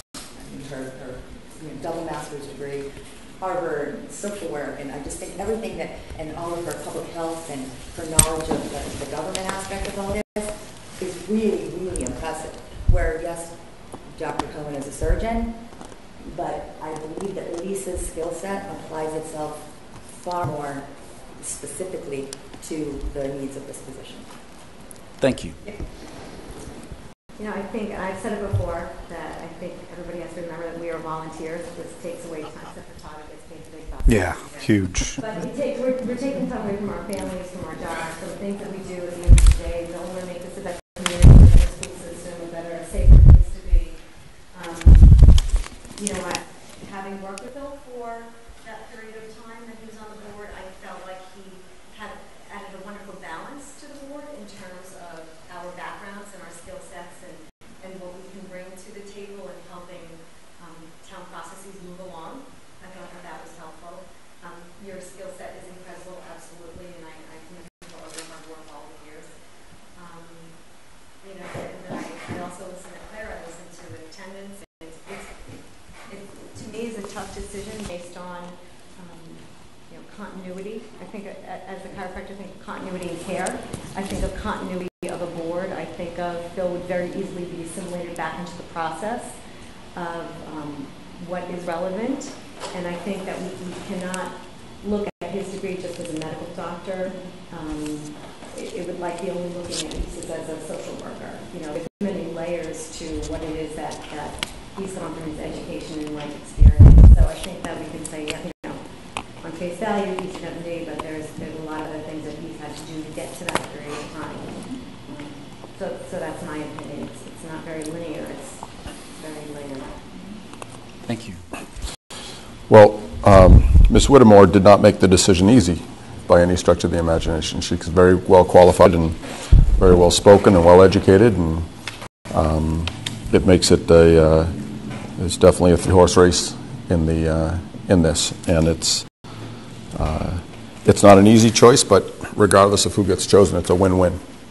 No matter who we get in here, it looks like uh, it's someone that that uh, is going to help the board move forward. So that's all I have. Mr. Coutinho. Yeah, Darlene told me that, that Ms. Whittemore was very uh, qualified and, and uh, in looking at the, at, at her CV and, and listening to her qualifications, they're, they're very good. And, and, um, as you know, that, you know, Dr. Cohen's extremely qualified and did, has done the job and. I'm, I'm just very pleased that, that, uh, we've got, uh, a couple of good candidates. And Mr. Ensign, he has to do his whole resume anyway. So we've got some good candidates to choose from. Great. Uh, From my perspective, I mean, everyone's, I think, said uh, what I would say uh, as well. Um, I really appreciate people that come out and sit through these meetings and go through the process, the discussion, and put up with all that. Um, You know, one's presence uh, weighs very strongly with me. Um, But Mrs. Wright makes good points about Ms. Dr. Cohen's presence on the campaign trail for three months and all the things that he did uh, to, to get in front of the voters and try and encourage them to, to consider his, his candidacy. And having been through more of those than I probably should have, um, I have a lot of respect for that process. Um, so it's, uh, it's a tough one. It's a very difficult decision for me. I think we've got some great candidates. Uh, in my mind, I see it as two candidates, not three so much, um, uh, only because I'm not uh, as familiar with the other candidate. And, you know, I think between the time put in during the campaign and the time this evening and the background and their ac- advocacy on behalf of the lake and other things over the last 20 years, those are the two candidates in my mind. Um, so I'm kind of down to a two person uh, process now instead of a three person process. Do we have, do we have any inf- information on uh, Dr. Cohen's attendance um, over the last couple of years on the board? Not, not officially, but So let me, let me just, let me just control this a little bit. Um, So the question is from Mr. Cestari what the attendance record of Dr. Cohen has been, correct? Mr. Khumalo, do you have any information on that?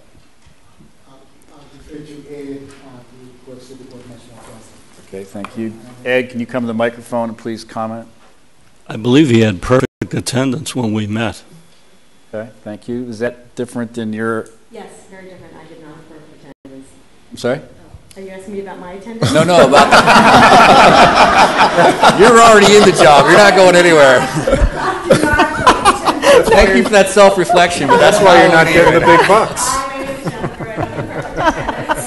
Um, But is that your understanding of Dr. Cohen's attendance?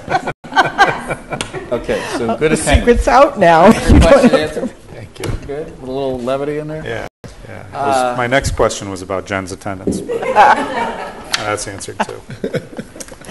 All right, anybody else have any other thoughts, comments they want to put on the table?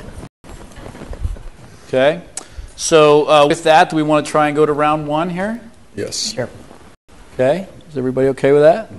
And what I thought we would do is just go from right around the table, just the way we did with our comments, and uh, each individual will cast their vote, and we will see how it plays out. So, if everybody okay with that? Voice vote. Voice, voice. Voice vote. Lane will record it, um, and then we'll see where we are at the end of this first round. So we good? Okay. Mrs. Wright. Dr. Philip Cohen. Mr. Sistar. Um, uh, Pass. You can pass. No, can no, back. no, that, that would be the, the chicken's way out. Um, uh, Dr. Cohen. Okay. Lisa. Jen. Um, Dr. Cohen. Okay. Dr. Cohen. Okay. Dr. Cohen. Dr. Cohen. Okay. Lisa.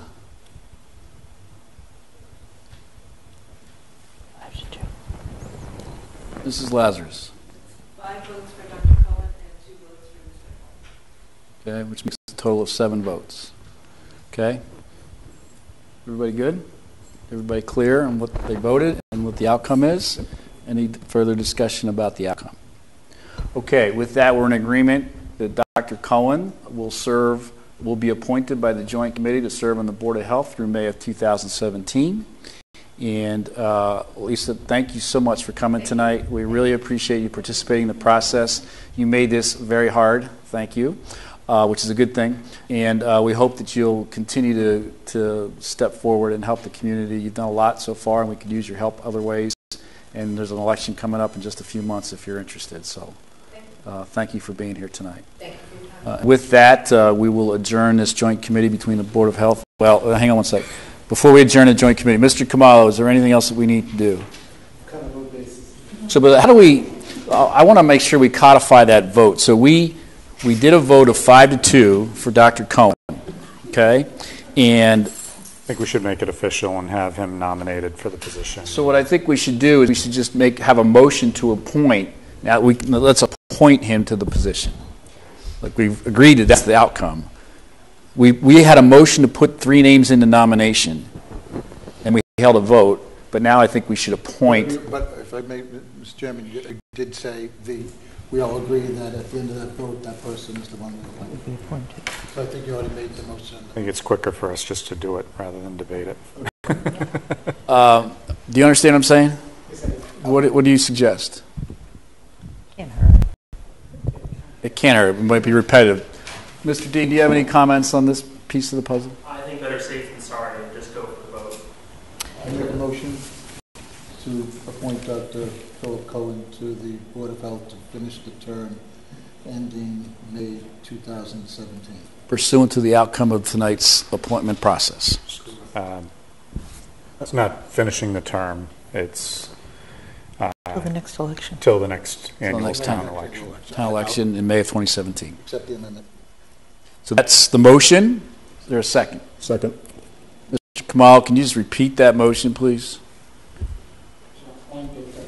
Cohen until the next scheduled annual town election in 2017. I'm just putting 2017 2017. Pursuant to the process, appointment process tonight. We have a motion and a second. Any further discussion on this motion? Good. All those in favor? Aye. Any opposed? Okay, so it's unanimous and so carries. We've appointed him unanimously based on the process where we appoint, got five to two. Okay, everybody good? And we'll adjourn the joint committee meeting and we'll continue with the Board of Selectmen meeting. Thank you very much for being here. Thank you. Have a good nice night. job showing up. Thank you. Thank you for your time. Okay. Easy. Um, so, item number eight, joint meeting of the Board of Selectmen and the Board of Library Trustees. The Board of Selectmen and the Board of Library Trustees will hold a joint meeting to appoint a new member to the Library Board of Trustees for a term to expire at the May 2017 annual town election. Mr. Khumalo. Mr. Chair, the- this position was advertised as requested by the board. Uh, We have met with the trustees here to sit as part of the joint committee with the board of selectmen. And we have one candidate. We have one candidate. Okay, uh, and that candidate is here this evening. Candidate is not here this evening, but our colleagues from the Board of Library Trustees are here, some of them anyway. Does somebody want to introduce us who, to who that candidate? Well, wait, wait, are we in a joint meeting here? We are. So if you folks could come join us up here, and we need. How many people are on the Library Board of Trustees? There's five, but we're minus one. There's five. So you guys can go ahead and call yourself to order. One more chair right there. Thank you. We have to do all the legal stuff here, sorry. Um, So we have our colleagues from the board, Library Board of Trustees joining us, and we're going to have a joint committee meeting now to appoint a vacancy to that organization or that board. Uh, If it's okay with the, with our colleagues in the Library Board of Trustees, I would ask someone to, I I would entertain a motion for myself to be named as the chair of the joint committee between the board So moved. Sorry, second. Library Trustees and the Bo- Board of Selectmen. So we have a motion and a second to name me as the chair. Any discussion? All those in favor, aye. Aye. Aye. Any opposed? Okay, so I will continue, continue to serve as the chair of this joint committee. So we have one candidate for one opening to go through May of 2017. Okay. And the candidate, Mr. Khumalo, is? Beth DeLeva. Beth DeLeva.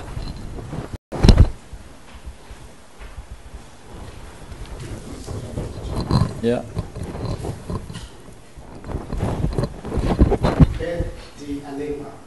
Okay, and the position was posted accordingly and with plenty of notice and all that, correct? All right, so we have one candidate, and um, so my first question would be, the candidate's not here, but our, our, our, our colleagues on the Library Board of Trustees, are you guys familiar with the candidate at all? I am. You are? Um, she is uh, active in the town. She has children in the school system. She is a regular library um, patron in her family. Uh, she has, uh, I don't know what it's called. It's whatever is the welcome wagon. She does the um, Hometown home- hospitality. Hometown hospitality in town. She has lived in town. Um, I've known her for at least 14 years, so she's been here at least that long. Um, I don't know prior to that. Um, she seems to be energetic. She's excited about contributing to the library. That's what I know about her. Okay. Does anybody else have any questions or comments specific to the candidate? This is going to be an easy one. Okay. Right. Um, I, I don't know her, but I looked at her qualifications, and it seems that our library is a really vibrant, integral part of the community, and I think a big piece of effective librarying is community connectedness and vice versa. And when I looked at the things that Beth has been, is involved with between HPTA, the the um, hospitality, she puts together a newsletter, the hometown happenings. Um, she seems to be extremely engaged and connected and um, have real good um, contact with the community. So I think that's a quality that would be probably very valuable in an effective library trustee. So I think we're fortunate that even though it's only one applicant, it would appear to me to be an applicant that has a number of qualities that would be valuable. Okay. Anybody have any other ideas or thoughts? I believe we're ready to probably proceed. So, given the fact that we have one candidate, one position, we don't have to go through necessarily a process discussion. Uh, the chair will entertain a motion to appoint Ms. Dialva to the open seat on the Library Board of Trustees uh, through May of 2017, uh, at which time the next town election will then. So moved. Second. Okay. Any further discussion? Mr. Khumalo, you good with where we are? Yes. All those in favor? Aye. Any opposed? Excellent. We are done on this joint. That's a good and. Thank you for coming and helping out. Thank you. Have a great night. So these folks will adjourn their meeting and we'll continue uh, our Board of Selectmen meeting. Okay, next up on tonight's agenda is a discussion uh, specific to a change of manager uh, petition. Well, it's a petition for a change of license at 110 Grill uh, here in Hopkinton at 1 Lumber Street uh, to change the manager from Ryan Dion to Michael Spots. Is Mr. Spots here by chance this evening? Okay. He does look familiar. Uh, and is Ryan Dion here this evening? And that's Ryan there. Okay. Is anyone else here from 110 Grill? No. Okay. Um, all right. Mr. Khumalo, can you just give us a quick overview of the process that we should be following here? Yes, um, through the chair, the board has the authority to approve the manager uh, for a licensed establishment. Uh, 110 Grill is a licensed establishment. And as part of the process, we circulate the application uh, to town counsel for review to ensure that the application meets all the legal requirements.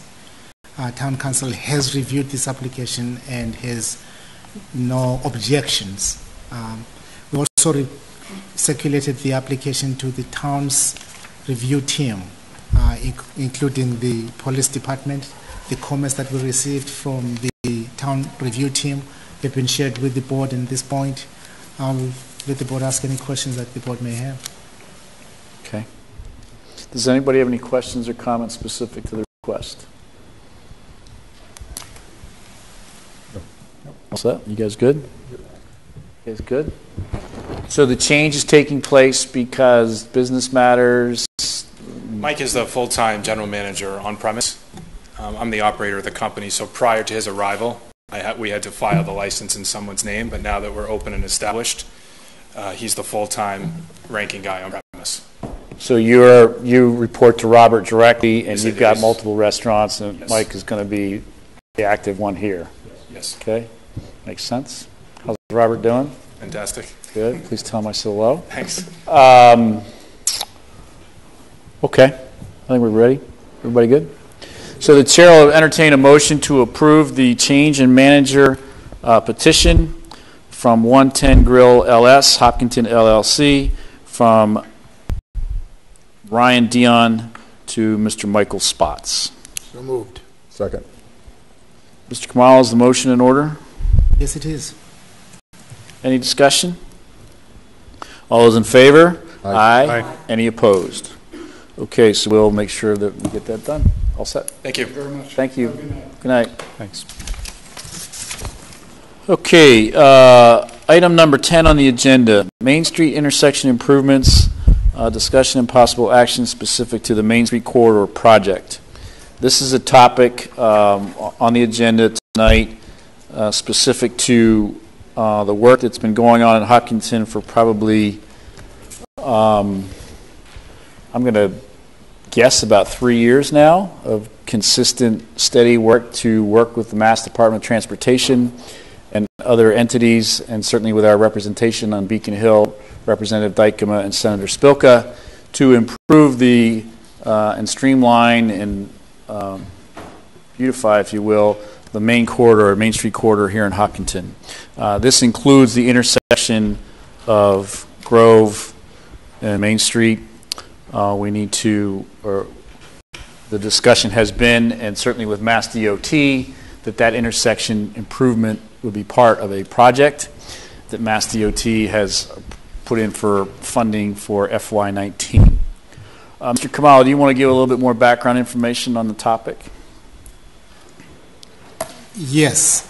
Um, I think it's important to set the context.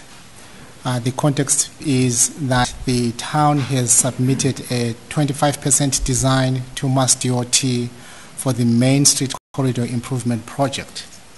And the last discussions uh, at this meeting by the board uh, involved at least three aspects of the project. Uh, and that discussion was influenced by the preliminary comments the town had received from Mass DOT, as well as the input that we had gathered from the public. The three issues that were integrated into the design included the following undergrounding utilities, adding a bike lane, and also realigning the main Grove and Cedar Street intersection. Uh, at this point, we are also asking the board uh, for its guidance in terms of how we proceed with regard to the realignment of the intersection. Uh, the reason being, uh, Mass has indicated to us multiple times that the most effective means to improve vehicle safety and capacity at this location would be to realign one or both of the Cedar Street and Grove Street approaches so, so that they would align directly opposite each other as in a conventional four-way intersection.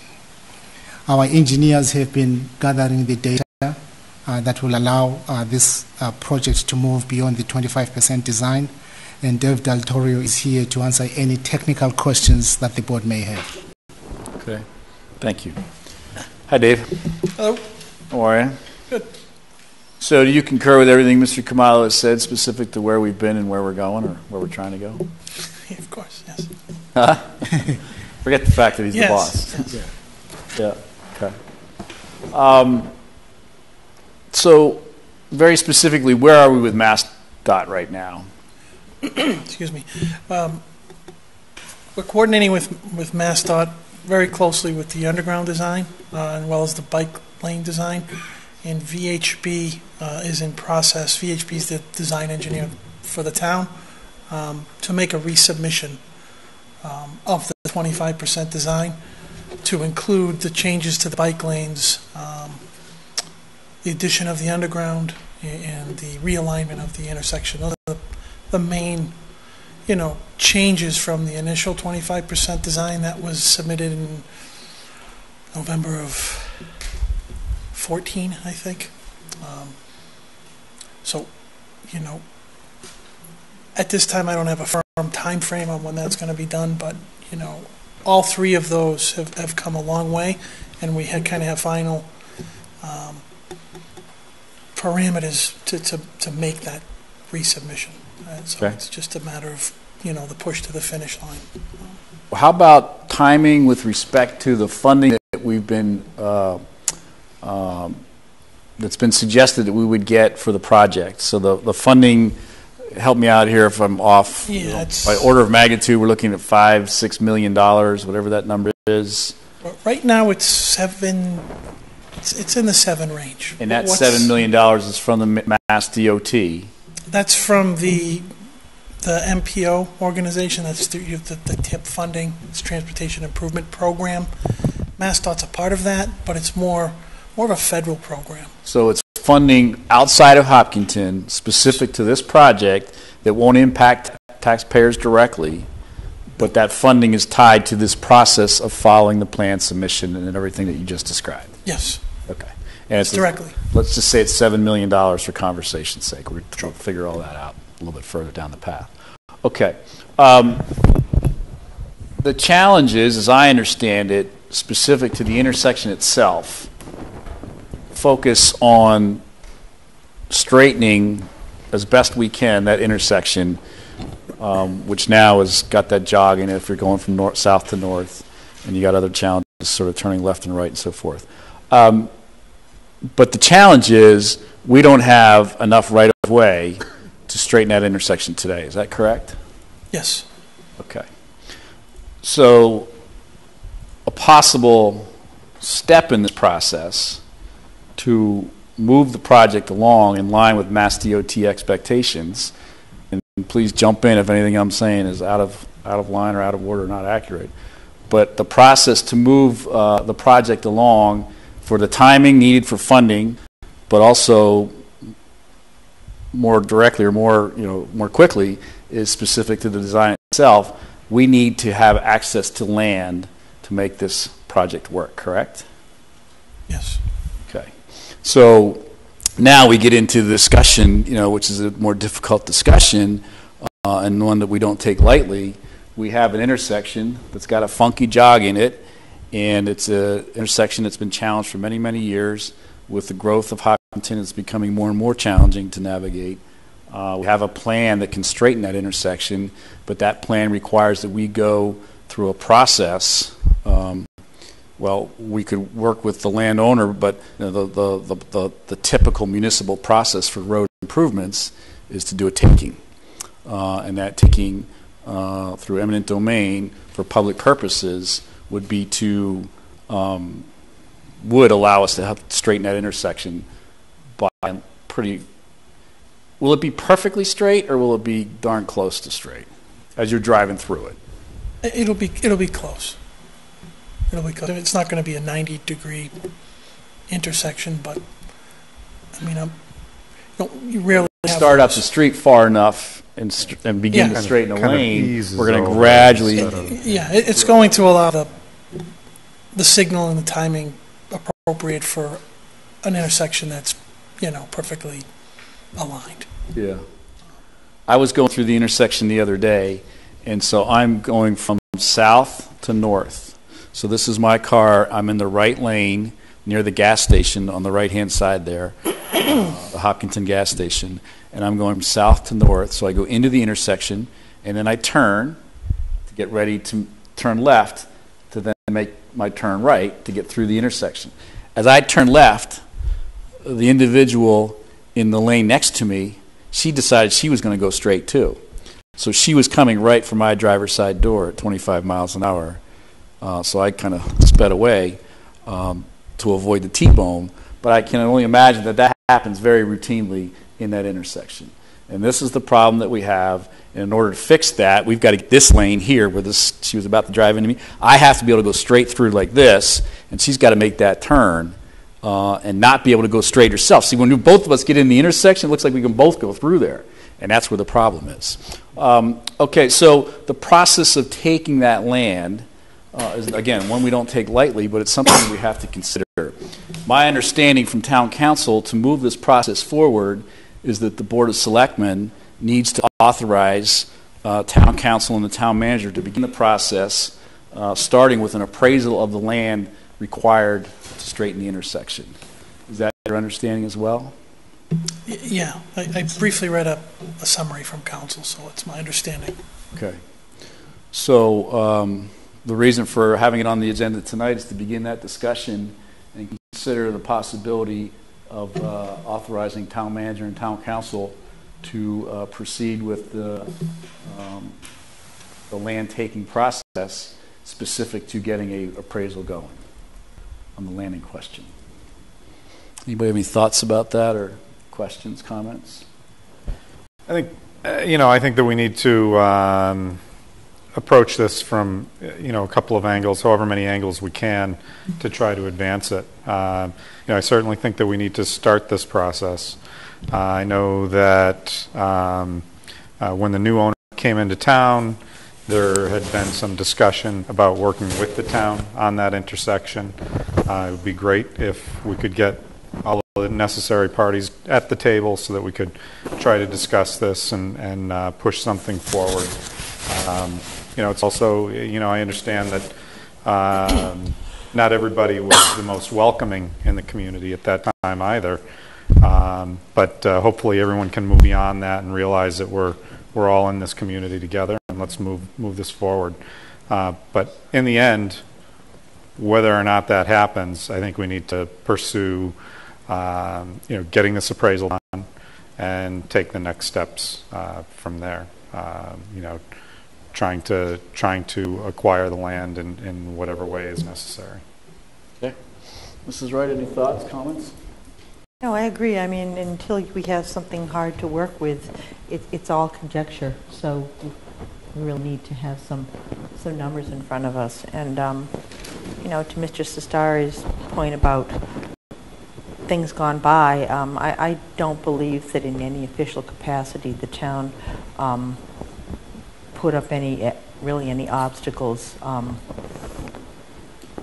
other than, you know, hoping that new businesses will work cooperatively with the town, but um, what private citizens engage in is not a town's official position.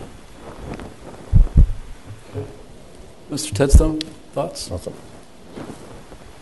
Yeah, I- actually, I concur with the two of them. You know, it's, I, I was hoping that, um, that we could get, could have gotten into some discussions sooner than this before, you know, we got to this point. But we do need, a- we, we do need to know what the, what the land is worth.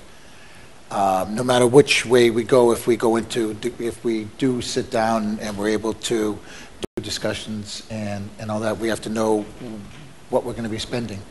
What's, what's it going to cost us to get the $7 million? We need to know that.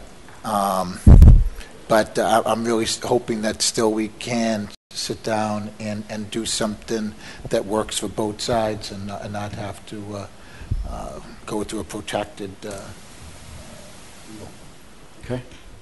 So, um, you know, I think, uh, I'm pretty sure I know, we haven't done a land taking in Hopkinton uh, from the Board of Selectmen's seat uh, in the, in the eight years I've sat up here, which is 10 years in total, um, that I can recall. Um, So it's not something that happens routinely, and I just want to kind of just put a couple of thoughts out there for people to, to, to think, think through. When we say land taking, the community is not going to go take the land. Okay? The community pays fair market value for the land. So we don't go rob the land. We don't go put a fence up and say, you that's it. You can't cross this this line anymore. The community would have to pay fair market value for the land. So uh, whoever owns the land is not going to you know, sort of get gypped out of you know, some value to that land. They may or may not want to give the land up, but the public you know, purpose involved and public safety and the general will of the community uh, weighs heavy in a situation like this. We've got a dangerous intersection. We've got an intersection that's got more and more cars going through it every day. And we've got a state Department of Transportation saying you need to fix the intersection as part of this process. So we need to do some things. And uh, by doing so, though, we will pay fair market value for the land. And by beginning the appraisal process and the land taking process um, with town counsel, we'll come to understand what that fair market value is for the land. And then if this all proceeds, we will pay fair market value for the land. So it's not like big brothers coming in and just, you know, yanking the land away, because that's what it sounds like. It sounds kind of nasty, but uh, there's a lot of reasons why we're considering this, and there's a lot of reasons why it needs to be done. And, and to your point, Mr. Chair, if I may, it, and this doesn't mean that this is the only way that we go about it. If, if, if the, um, the other parties want to come, come forth and, and actually want to do and deal with this, that, that we could still do that, can't we? Um, uh, maybe check with The, Ray. the town is wide open to trying to figure this out uh, from a commercial perspective, if you will, uh, as opposed to a takings perspective. Um, but you know, time is ticking, and uh, we, you know, we are charged, the Board of Selectmen and, and, and town meeting members and the entire community, we are all collectively charged with keeping community moving forward. And specific to our role here tonight, you know, I'm all for having a conversation and trying to find a way to make this intersection work and make it work for the landowners in the area and businesses and everybody else. Uh, but if we can't get any traction there, we need to have another process in place and ready to, to, to go as well, and that's what this taking is all about. Could we see if there's anybody from Crosspoint that might want to talk to this? Um, we can do that, yeah, I was, because I wanted to check in with the planning board a little bit on it too, Yeah, so. that's great, yeah. Mrs. Wright? But um, I agree with with Mr. Coutinho that, you know, if, if this can, we would hope that this would not have to be proceed, have to proceed adversarially. That would be ideal. But regardless of how the process moves forward, um, our fiduciary responsibility to the people of the town is to get, first and foremost, get a sense of the proper value so that any negotiations, under whatever circumstances, are done with full knowledge of what we're dealing with. Sure. And that's where getting the appraisal comes in. Regardless of which way you move, you need to know what you've got. Gotcha. Makes sense. Okay, any other comments, thoughts from the board? Mr. Khumalo, any thoughts on this topic? Again, I think uh, it needs to be clarified that this, the Main Street Corridor project uh, is scheduled for funding in the FY19 TIP process. Um, there is a process that is set in place for funding such public infrastructure projects. Uh, it's a two-step process where for the current fiscal year, there are projects that are underway, shovel-ready, under construction, and approved for funding with a specific appropriation. What this means is our, the town's Main Street Corridor project remains in the universe of the projects that can be funded in FY19. Just wanted to make sure uh, everybody understands that process. Okay, thank you. And that's, thus the, cl- the clock is ticking and we need to keep this process moving forward. Mrs. Lazarus, you are a professional in land management and uh, planning and uh, certainly fill that role for us as, long as, as well as many others in town. Uh, this is something that's been discussed for many years in Hopkinton. Do you have any thoughts that you want to share before the board takes some action tonight? It is something that's been discussed for many years, and many traffic studies have pointed out the deficiencies of the intersection and the need for it to be fixed. Okay, thank you. Mr. Daltorio, any other thoughts? Not only one point of um, fiscal year 19 for the state starts in October of 2018, and that's when, so it's, even though it's fiscal year 19, it- it's really a, a process that starts in 2018, so the clock is really ticking. Thank you for that clarification. I'd like to go now, if I could, to the chair of the planning board, if he'd be so kind as to join us at the podium for a minute and just share his thoughts about the intersection and the possible land taking. Ken Weissman, 145 Ash Street, Chairman of the Planning Board. Uh, The Planning Board has studied this intersection and this corridor quite a bit, particularly among the legacy uh, area. I agree with the safety comments, but I also agree that the alignment greatly improves the efficiency of the intersection. Basically, when you get north and south signals going at the same time, you take the time right now. Right now, they go north goes one time, then south goes, and then east west goes, which makes it a lot safer than it was two or three years ago, uh, before Mr. McDowell paid for the light to be uh, changed. Well, when you can get north and south going at the same time and east and west going at the same time, you take the time of that one cycle and add it to our east and west, and more people will get through the light uh, every time in the cycle. And that's where the, the great efficiency improvement is, is, is to be found. And that's very important. Uh, I've spoke the last time at the MPO on behalf of the town in favor of this project. I did state that we were working hard to uh, realign this intersection. Uh, fortunately, we kept the funding from uh, that last time, so I was real happy with that. I was really kind of worried that I'd be speaking for the town and some other project would jump ahead of us and we would make FY19, but uh, we, we, we snuck in. But if we don't do these type of things, we will lose our place in line. There are lots of people standing up there, uh, you know, that uh, you know would love to have that seven or eight million dollars. So this is a project that needs to keep going. Uh, I fully agree with uh, getting the estimate and, and, starting down that road.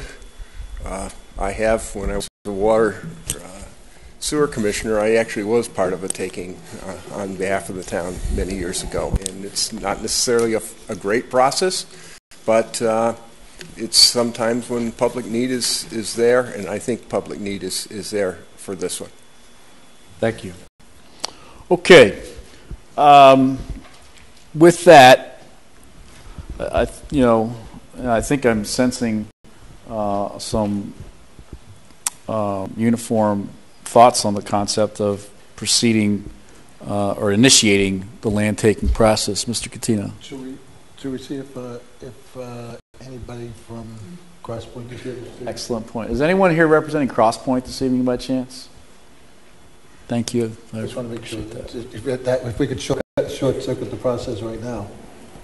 Well, um, I don't say I don't see anybody. I don't think we could short circuit the process. No, no, I understood it, but even if they were here and said we'll we'll do this, this, and this, I would still advocate that we begin a process that's a formal and legal process to maintain the public safety and enhance the efficiency of the intersection and everything else. Because uh, you know we can always walk down a couple of parallel paths here, and if this Absolutely. path falls apart or this path leads to nowhere, and we're well down a path over here, so I'd I'd want to go ahead either way myself.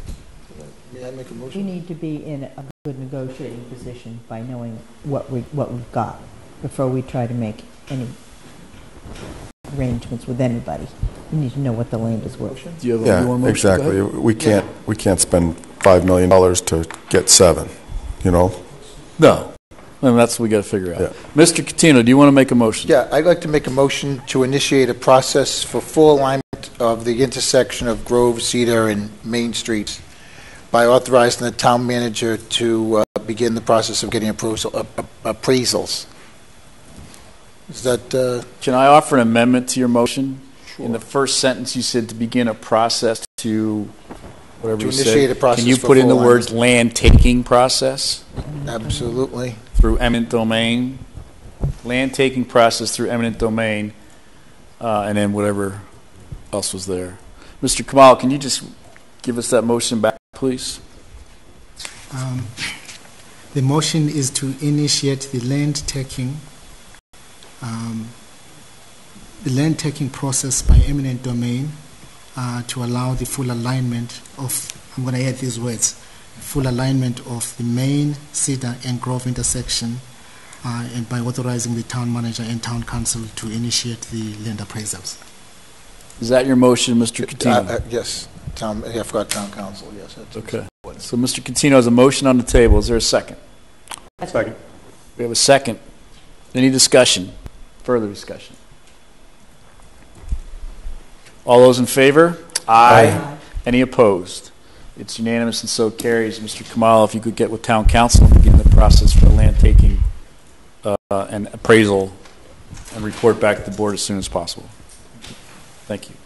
Chairman? Mrs. Wright. Um, Before we leave the Main Street corridor, and while Dave is still here, I know our purpose was to talk about that intersection, but I had just another piece of information on the larger project that I wanted to share. Um, My understanding, when Mr. Daltorio spoke with the board about it a couple weeks back, there was some, uh, in a draft plan to perhaps do some parking around the town common, and my interpretation was it might have involved taking a piece of that grass strip along the north side of the town common.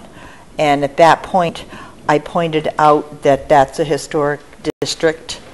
Um, I don't know if I'm reading that plan correctly, that that, that grass apron that's on Marathon Way was being considered for addition, to be removed for additional parking. Um, You can go back and look at the plan more closely. That was my interpretation. Um, If that is the case, I, I just wanted to point out, I have been in contact with Mass Historical Commission, and um, the Common and all of its area is part of a protected historic district under Mass Chapter 40C, and no piece of it can be removed. It cannot be reduced in area in any way. This is not the same as you know, removing a porch or changing windows in a protected property. This would, in effect, to take a piece of that grass for parking would, in effect, be reducing the district. Um, the only way that could be done would be through a whole process, same as you added to it or you established it with a study committee, um, a initiated by the historical commission, um, public hearing process, going to town meeting, being approved by Mass Historic. Um, it, it, it is not easy to take away a chunk of a district property. And I did speak with Mass Historic, who also explained to me that if it's a project that is involving state funding, which this would be, then the Mass Historical Commission would automatically become involved in any um, any alteration or proposed reduction of any historic district properties. So um, if that is indeed part of the early plan, um, I, I want to say this now because the longer something goes on, the harder it is to go back to the drawing board and change things. Um, but if that is part of the plan, the engineers need to look at a different option that would not involve attempting to take a piece of the common because that is that is protected land. Okay. I want to get that out there now. So just please take that under advisement and we'll come back at a more appropriate time. Okay? Yeah, I just No, fair the point. sooner you get it out, the easier it is to correct. Fair point. Okay, do it now. Okay. Um, so with that, we'll move ahead to item number 11 on the agenda. Um, this is uh, 151 Hayden Rowe Preservation Restriction Agreement. The Board of Selectmen consider signing the Preservation Restriction Agreement, agreement between the Town of Hopkinton and the owners, Philip and Donna Tadaro. Mr. Khumalo. With your permission, Mr. Chair, um, Ms. Lazarus uh, is... Absolutely. Introduce this topic. The, uh, the planning board recently uh, approved a special permit uh, allowing the home at 151 Hayden Rowe to be placed on a smaller lot uh, pursuant to the um, signing of a historic preservation agreement between the Historical Commission and the owners. They have come to an agreement, and the agreement that they have reached is before you and has been reviewed by town counsel, who has indicated it's acceptable to sign. Okay. Mr. Resnick. Mr. Chairman, board members, um, Claire, Brendan, this is the first time I've been before the board since your election. Congratulations. Um, I represent. missed you. Sorry. We've missed you. I'm back. um, the, first of all, does everybody have their little packets of information that go along with this? Okay, good.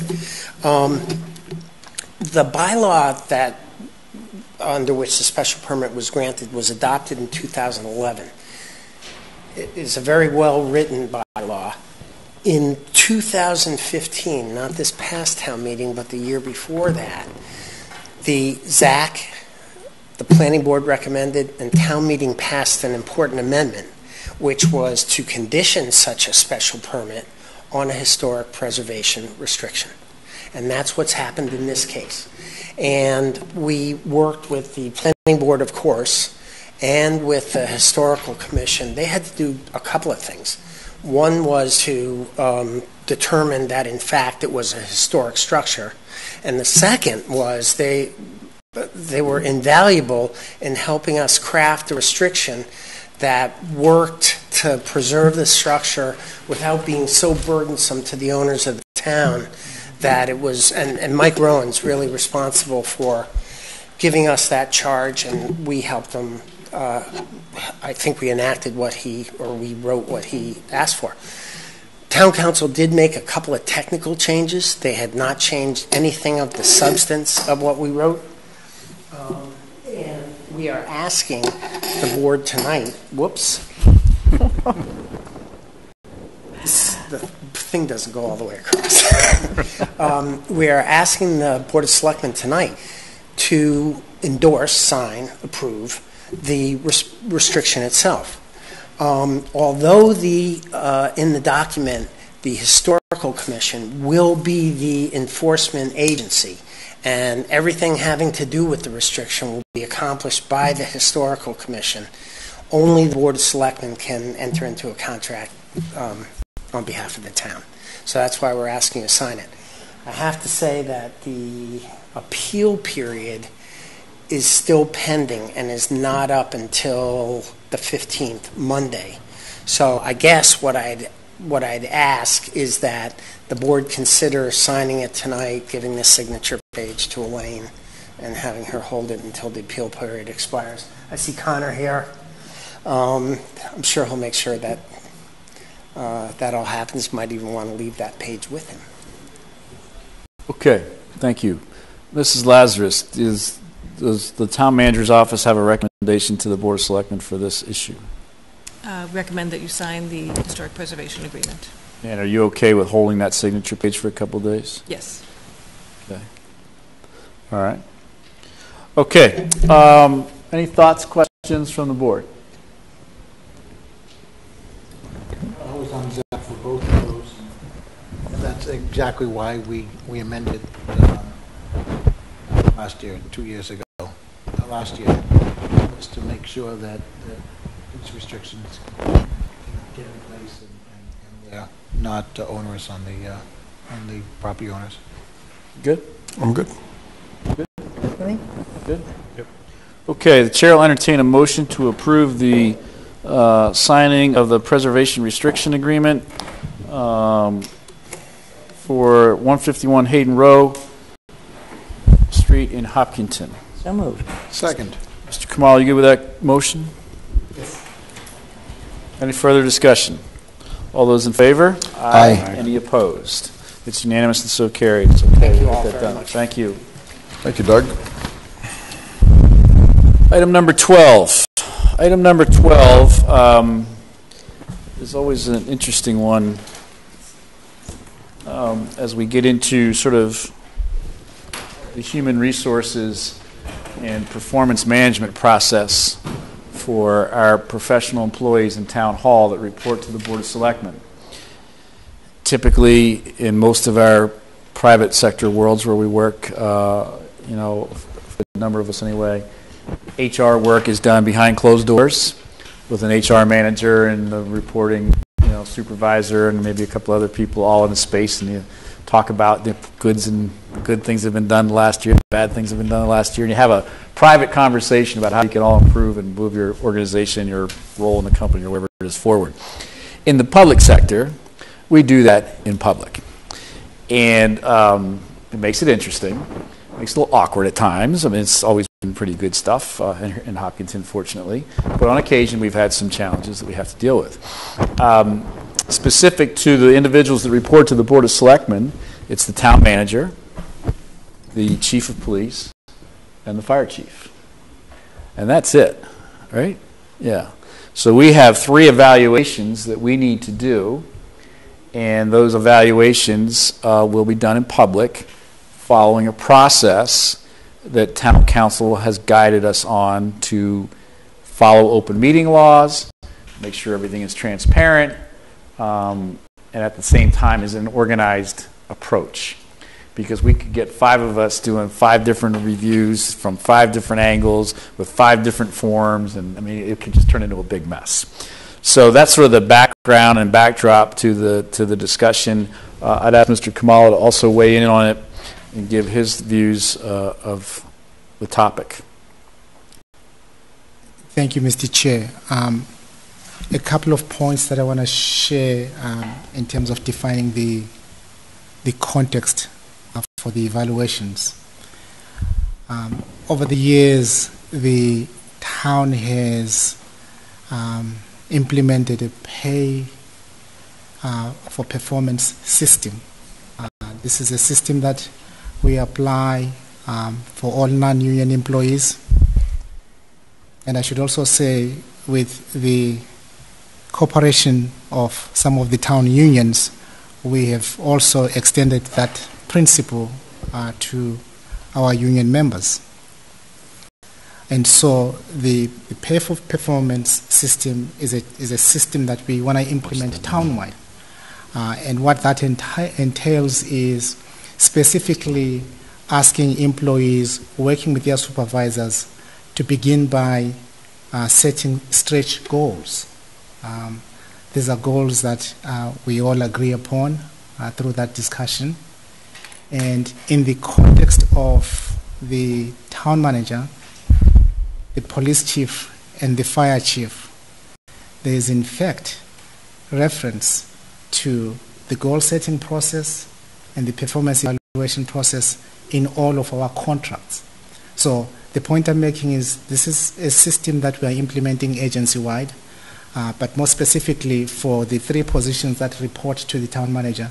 Uh, the goal setting process as well as the performance evaluation process are both set in the, in the contract.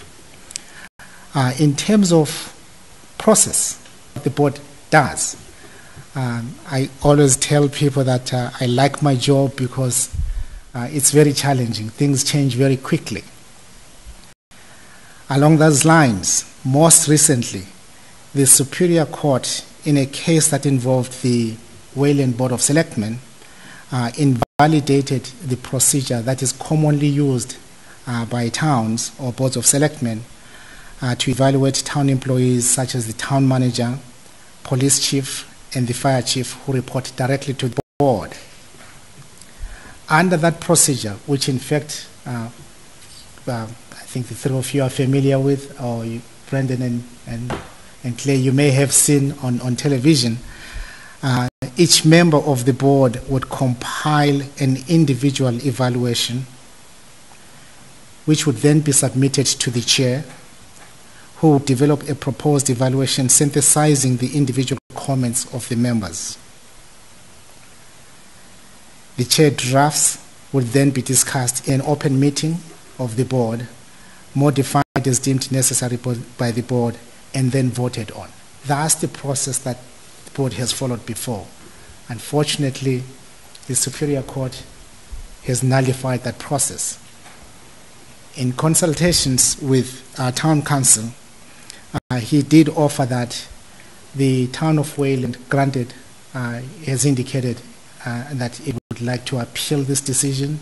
His advice is that, well, perhaps we should follow what the Superior Court has said we should do now. Uh, to that end, he did check with the Attorney General's office, and here is what is proposed. We looked at different options, and I think uh, following our discussions of the different options, we settled on the following option uh, that the selectmen rely on a staff member to collate the evaluations, not to write, but to collate or compile the evaluations. The selectmen can each send their performance evaluations to a staff member who would merely compile them for distribution. The evaluation should be sent as a PDF or as a paper copy to the staff member directly. Editable documents are discouraged, and that's why the emphasis is, is on PDF. Uh, the compiled evaluation would then be distributed to the board members in the meeting packet, provided that the members do not discuss the evaluations until the open meeting. So there is a choice.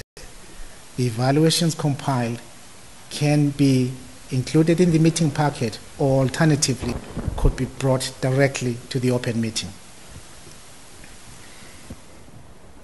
Uh, in this case, uh, town counsel believes that the person who merely collects, collects and distributes the individual evaluations should not be deemed to have participated in the process. Therefore, the staff member designated to perform this function for the especially for the town manager's evaluation can be somebody who is appointed by the town manager so long as they sign a conflict of interest form. The town counsel has advised that in the case of the fire and the police chiefs, the town manager can play the role of the staff person receiving the evaluations from the board members. However, we did look around to see who could collect this information on behalf of the board. And the only person that comes to mind, or the only department that comes to mind, is our HR department. However, because the HR director is appointed by the town manager, that's why, in the abundance of caution, the recommendation is that they sign a conflict of interest form. So, PCA being, in summary form, previous process where the chairman, the chair of the board, collects the information, compiles the draft, is no longer valid. Uh, understanding that the town of Wayland may appeal the decision of the Superior Court. However, to play it safe uh, I, and also to really foster the openness and transparency of the process, uh, we are recommending that uh, the board uses a, a, staff member.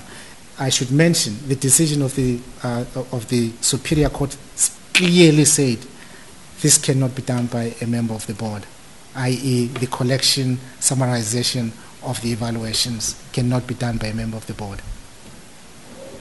Okay. So, we have a police chief that we do need to do a full review uh, with. Uh, I'm excited about the review because I think it'll be an excellent review, but we have to do a police chief review. And we have a town manager to review.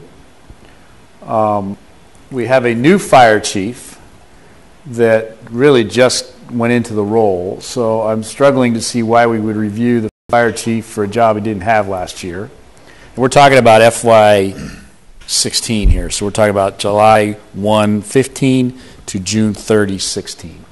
Um, so, but we do want to make sure we get in writing the fire chief's goals for FY 17.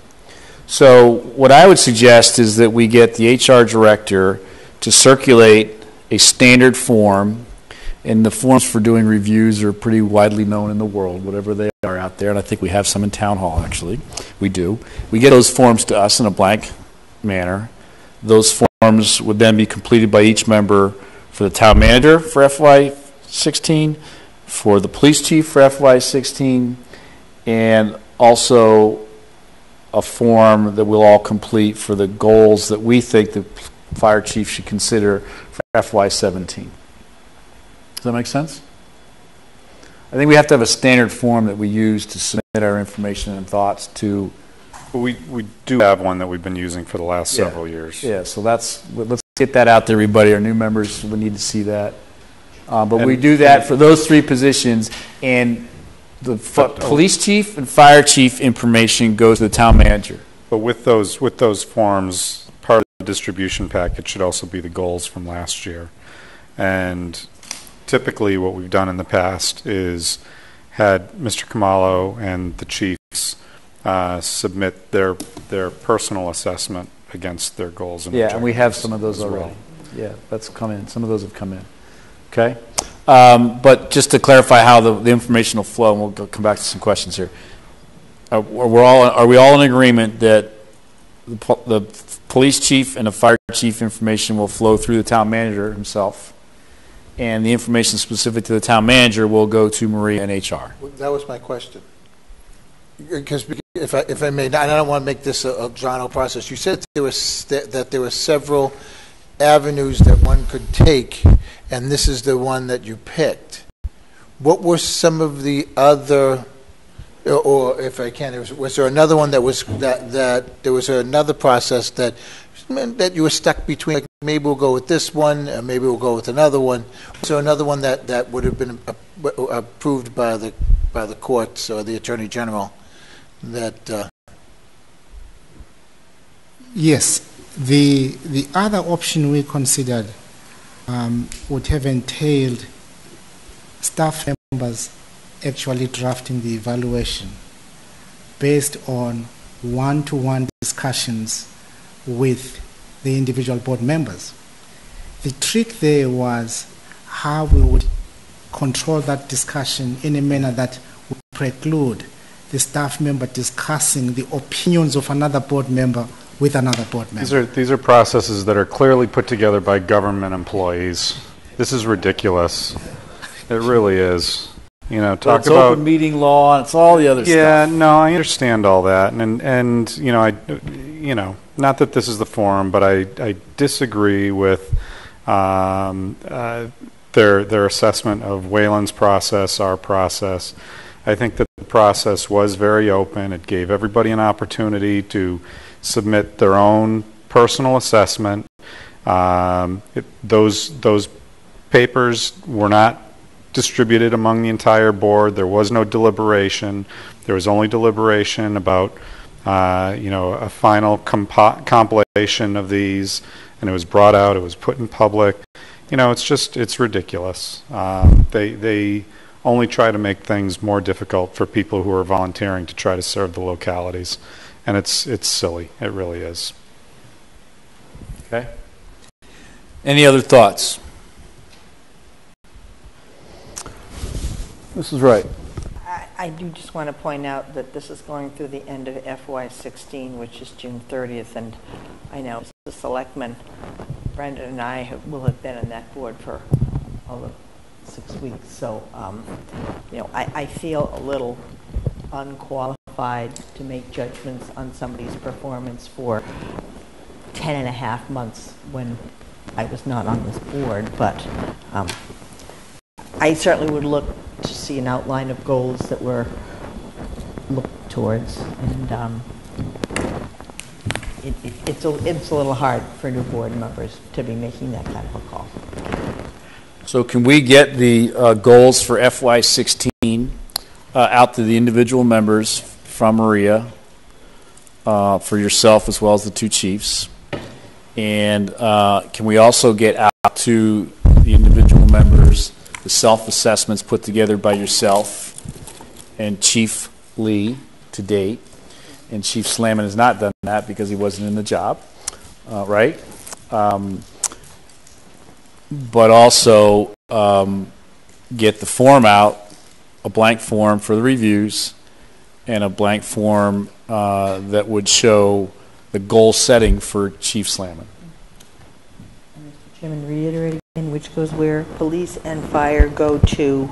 The- all this stuff, all that information comes to us, and then when you get the information, you fill it out and you send it back. You send it to Mr. Khumalo for the two chiefs. Right, and human resources for You send it to Mr. Human, Collins. Re- Human Resources, Maria, for Mr. Khumalo. Oh, human resources being Maria. Yeah. Okay, yeah, that's what I had, okay. Is that the way to proceed, Mr. Khumalo? Yes, if, if the board is so inclined. I believe that is the best way to proceed, given public process. Mrs. Wright? One more question, are our names attached to these? Like, when, my understanding is that no one is going to synthesize all the information. The information is going to be redistributed to the board members in raw form, just as it was submitted. That is Correct. Are, are our names to be on that so we know whose input we're reading, or is that to be five anonymous? No, it needs to be on it. No, Your name. Needs to be known. Yeah, Okay. anything No, that goes. just- yeah. Just asking. I mean, I would, I No, would no, think yeah, so. yeah. Fair question, but They can always take it off, I guess. Okay, everybody good? Mr. Khumalo, you good with the process? Yes, acknowledging that uh, I, I do share Mr. Cestari's concerns. I, I, when I when I When I saw reference this, government employees, I don't mean you. He means Elaine. Yeah. Okay, let's move along, please. Uh, Board liaison assignments, Mr. Cestari. Uh, nothing to report. Or liaison reports. Nothing to report. Mrs. Wright. Well, I just did my historic district song and dance, so, and historical commission, I'm thrilled with the uh, preservation restriction and nothing else right now. Mr. Tedstone. So I met with the open space and the um, elementary school um, commission there, and uh, everything's going good. Excellent, thank you. Mr. Coutinho. I had a really busy month. We had the opening of uh, the Verizon, uh, the 110 Grill opening, and just yesterday, Cycle City. Uh, This is great. and We're really showing that Hopkinton is indeed open for business. Those were those were really good ones. Uh, two weeks ago, we had a uh, the Trails Committee um, had a trail cleanup to get ready for the uh, Arts on the Trail. It wasn't as well attended as we had hoped. There three of us, but, uh, and uh, I was the uh, I was the youngest. Um, so, but we did- we managed to get a lot done. It was it was it was a, it was a, it was a nice uh, it was a nice Saturday. Um, and Who's then- who's the oldest? Uh, oh gosh, I want to go there. Embarrassing. Um, then we had uh, this last week. We we had the new ladder. Well, it was- I showed the pictures earlier. That was uh, that was a heck of a lot of fun, and, and the chief uh, is really doing a great job uh, training the um, training everybody on how to use it effectively and and um, getting the most out of the uh, the money he spent. Great job, great job. Okay. Anything else? Uh, The Metro West Regional Transit Authority voted on uh, last Friday, Friday afternoon meeting in the summer, can you believe that one?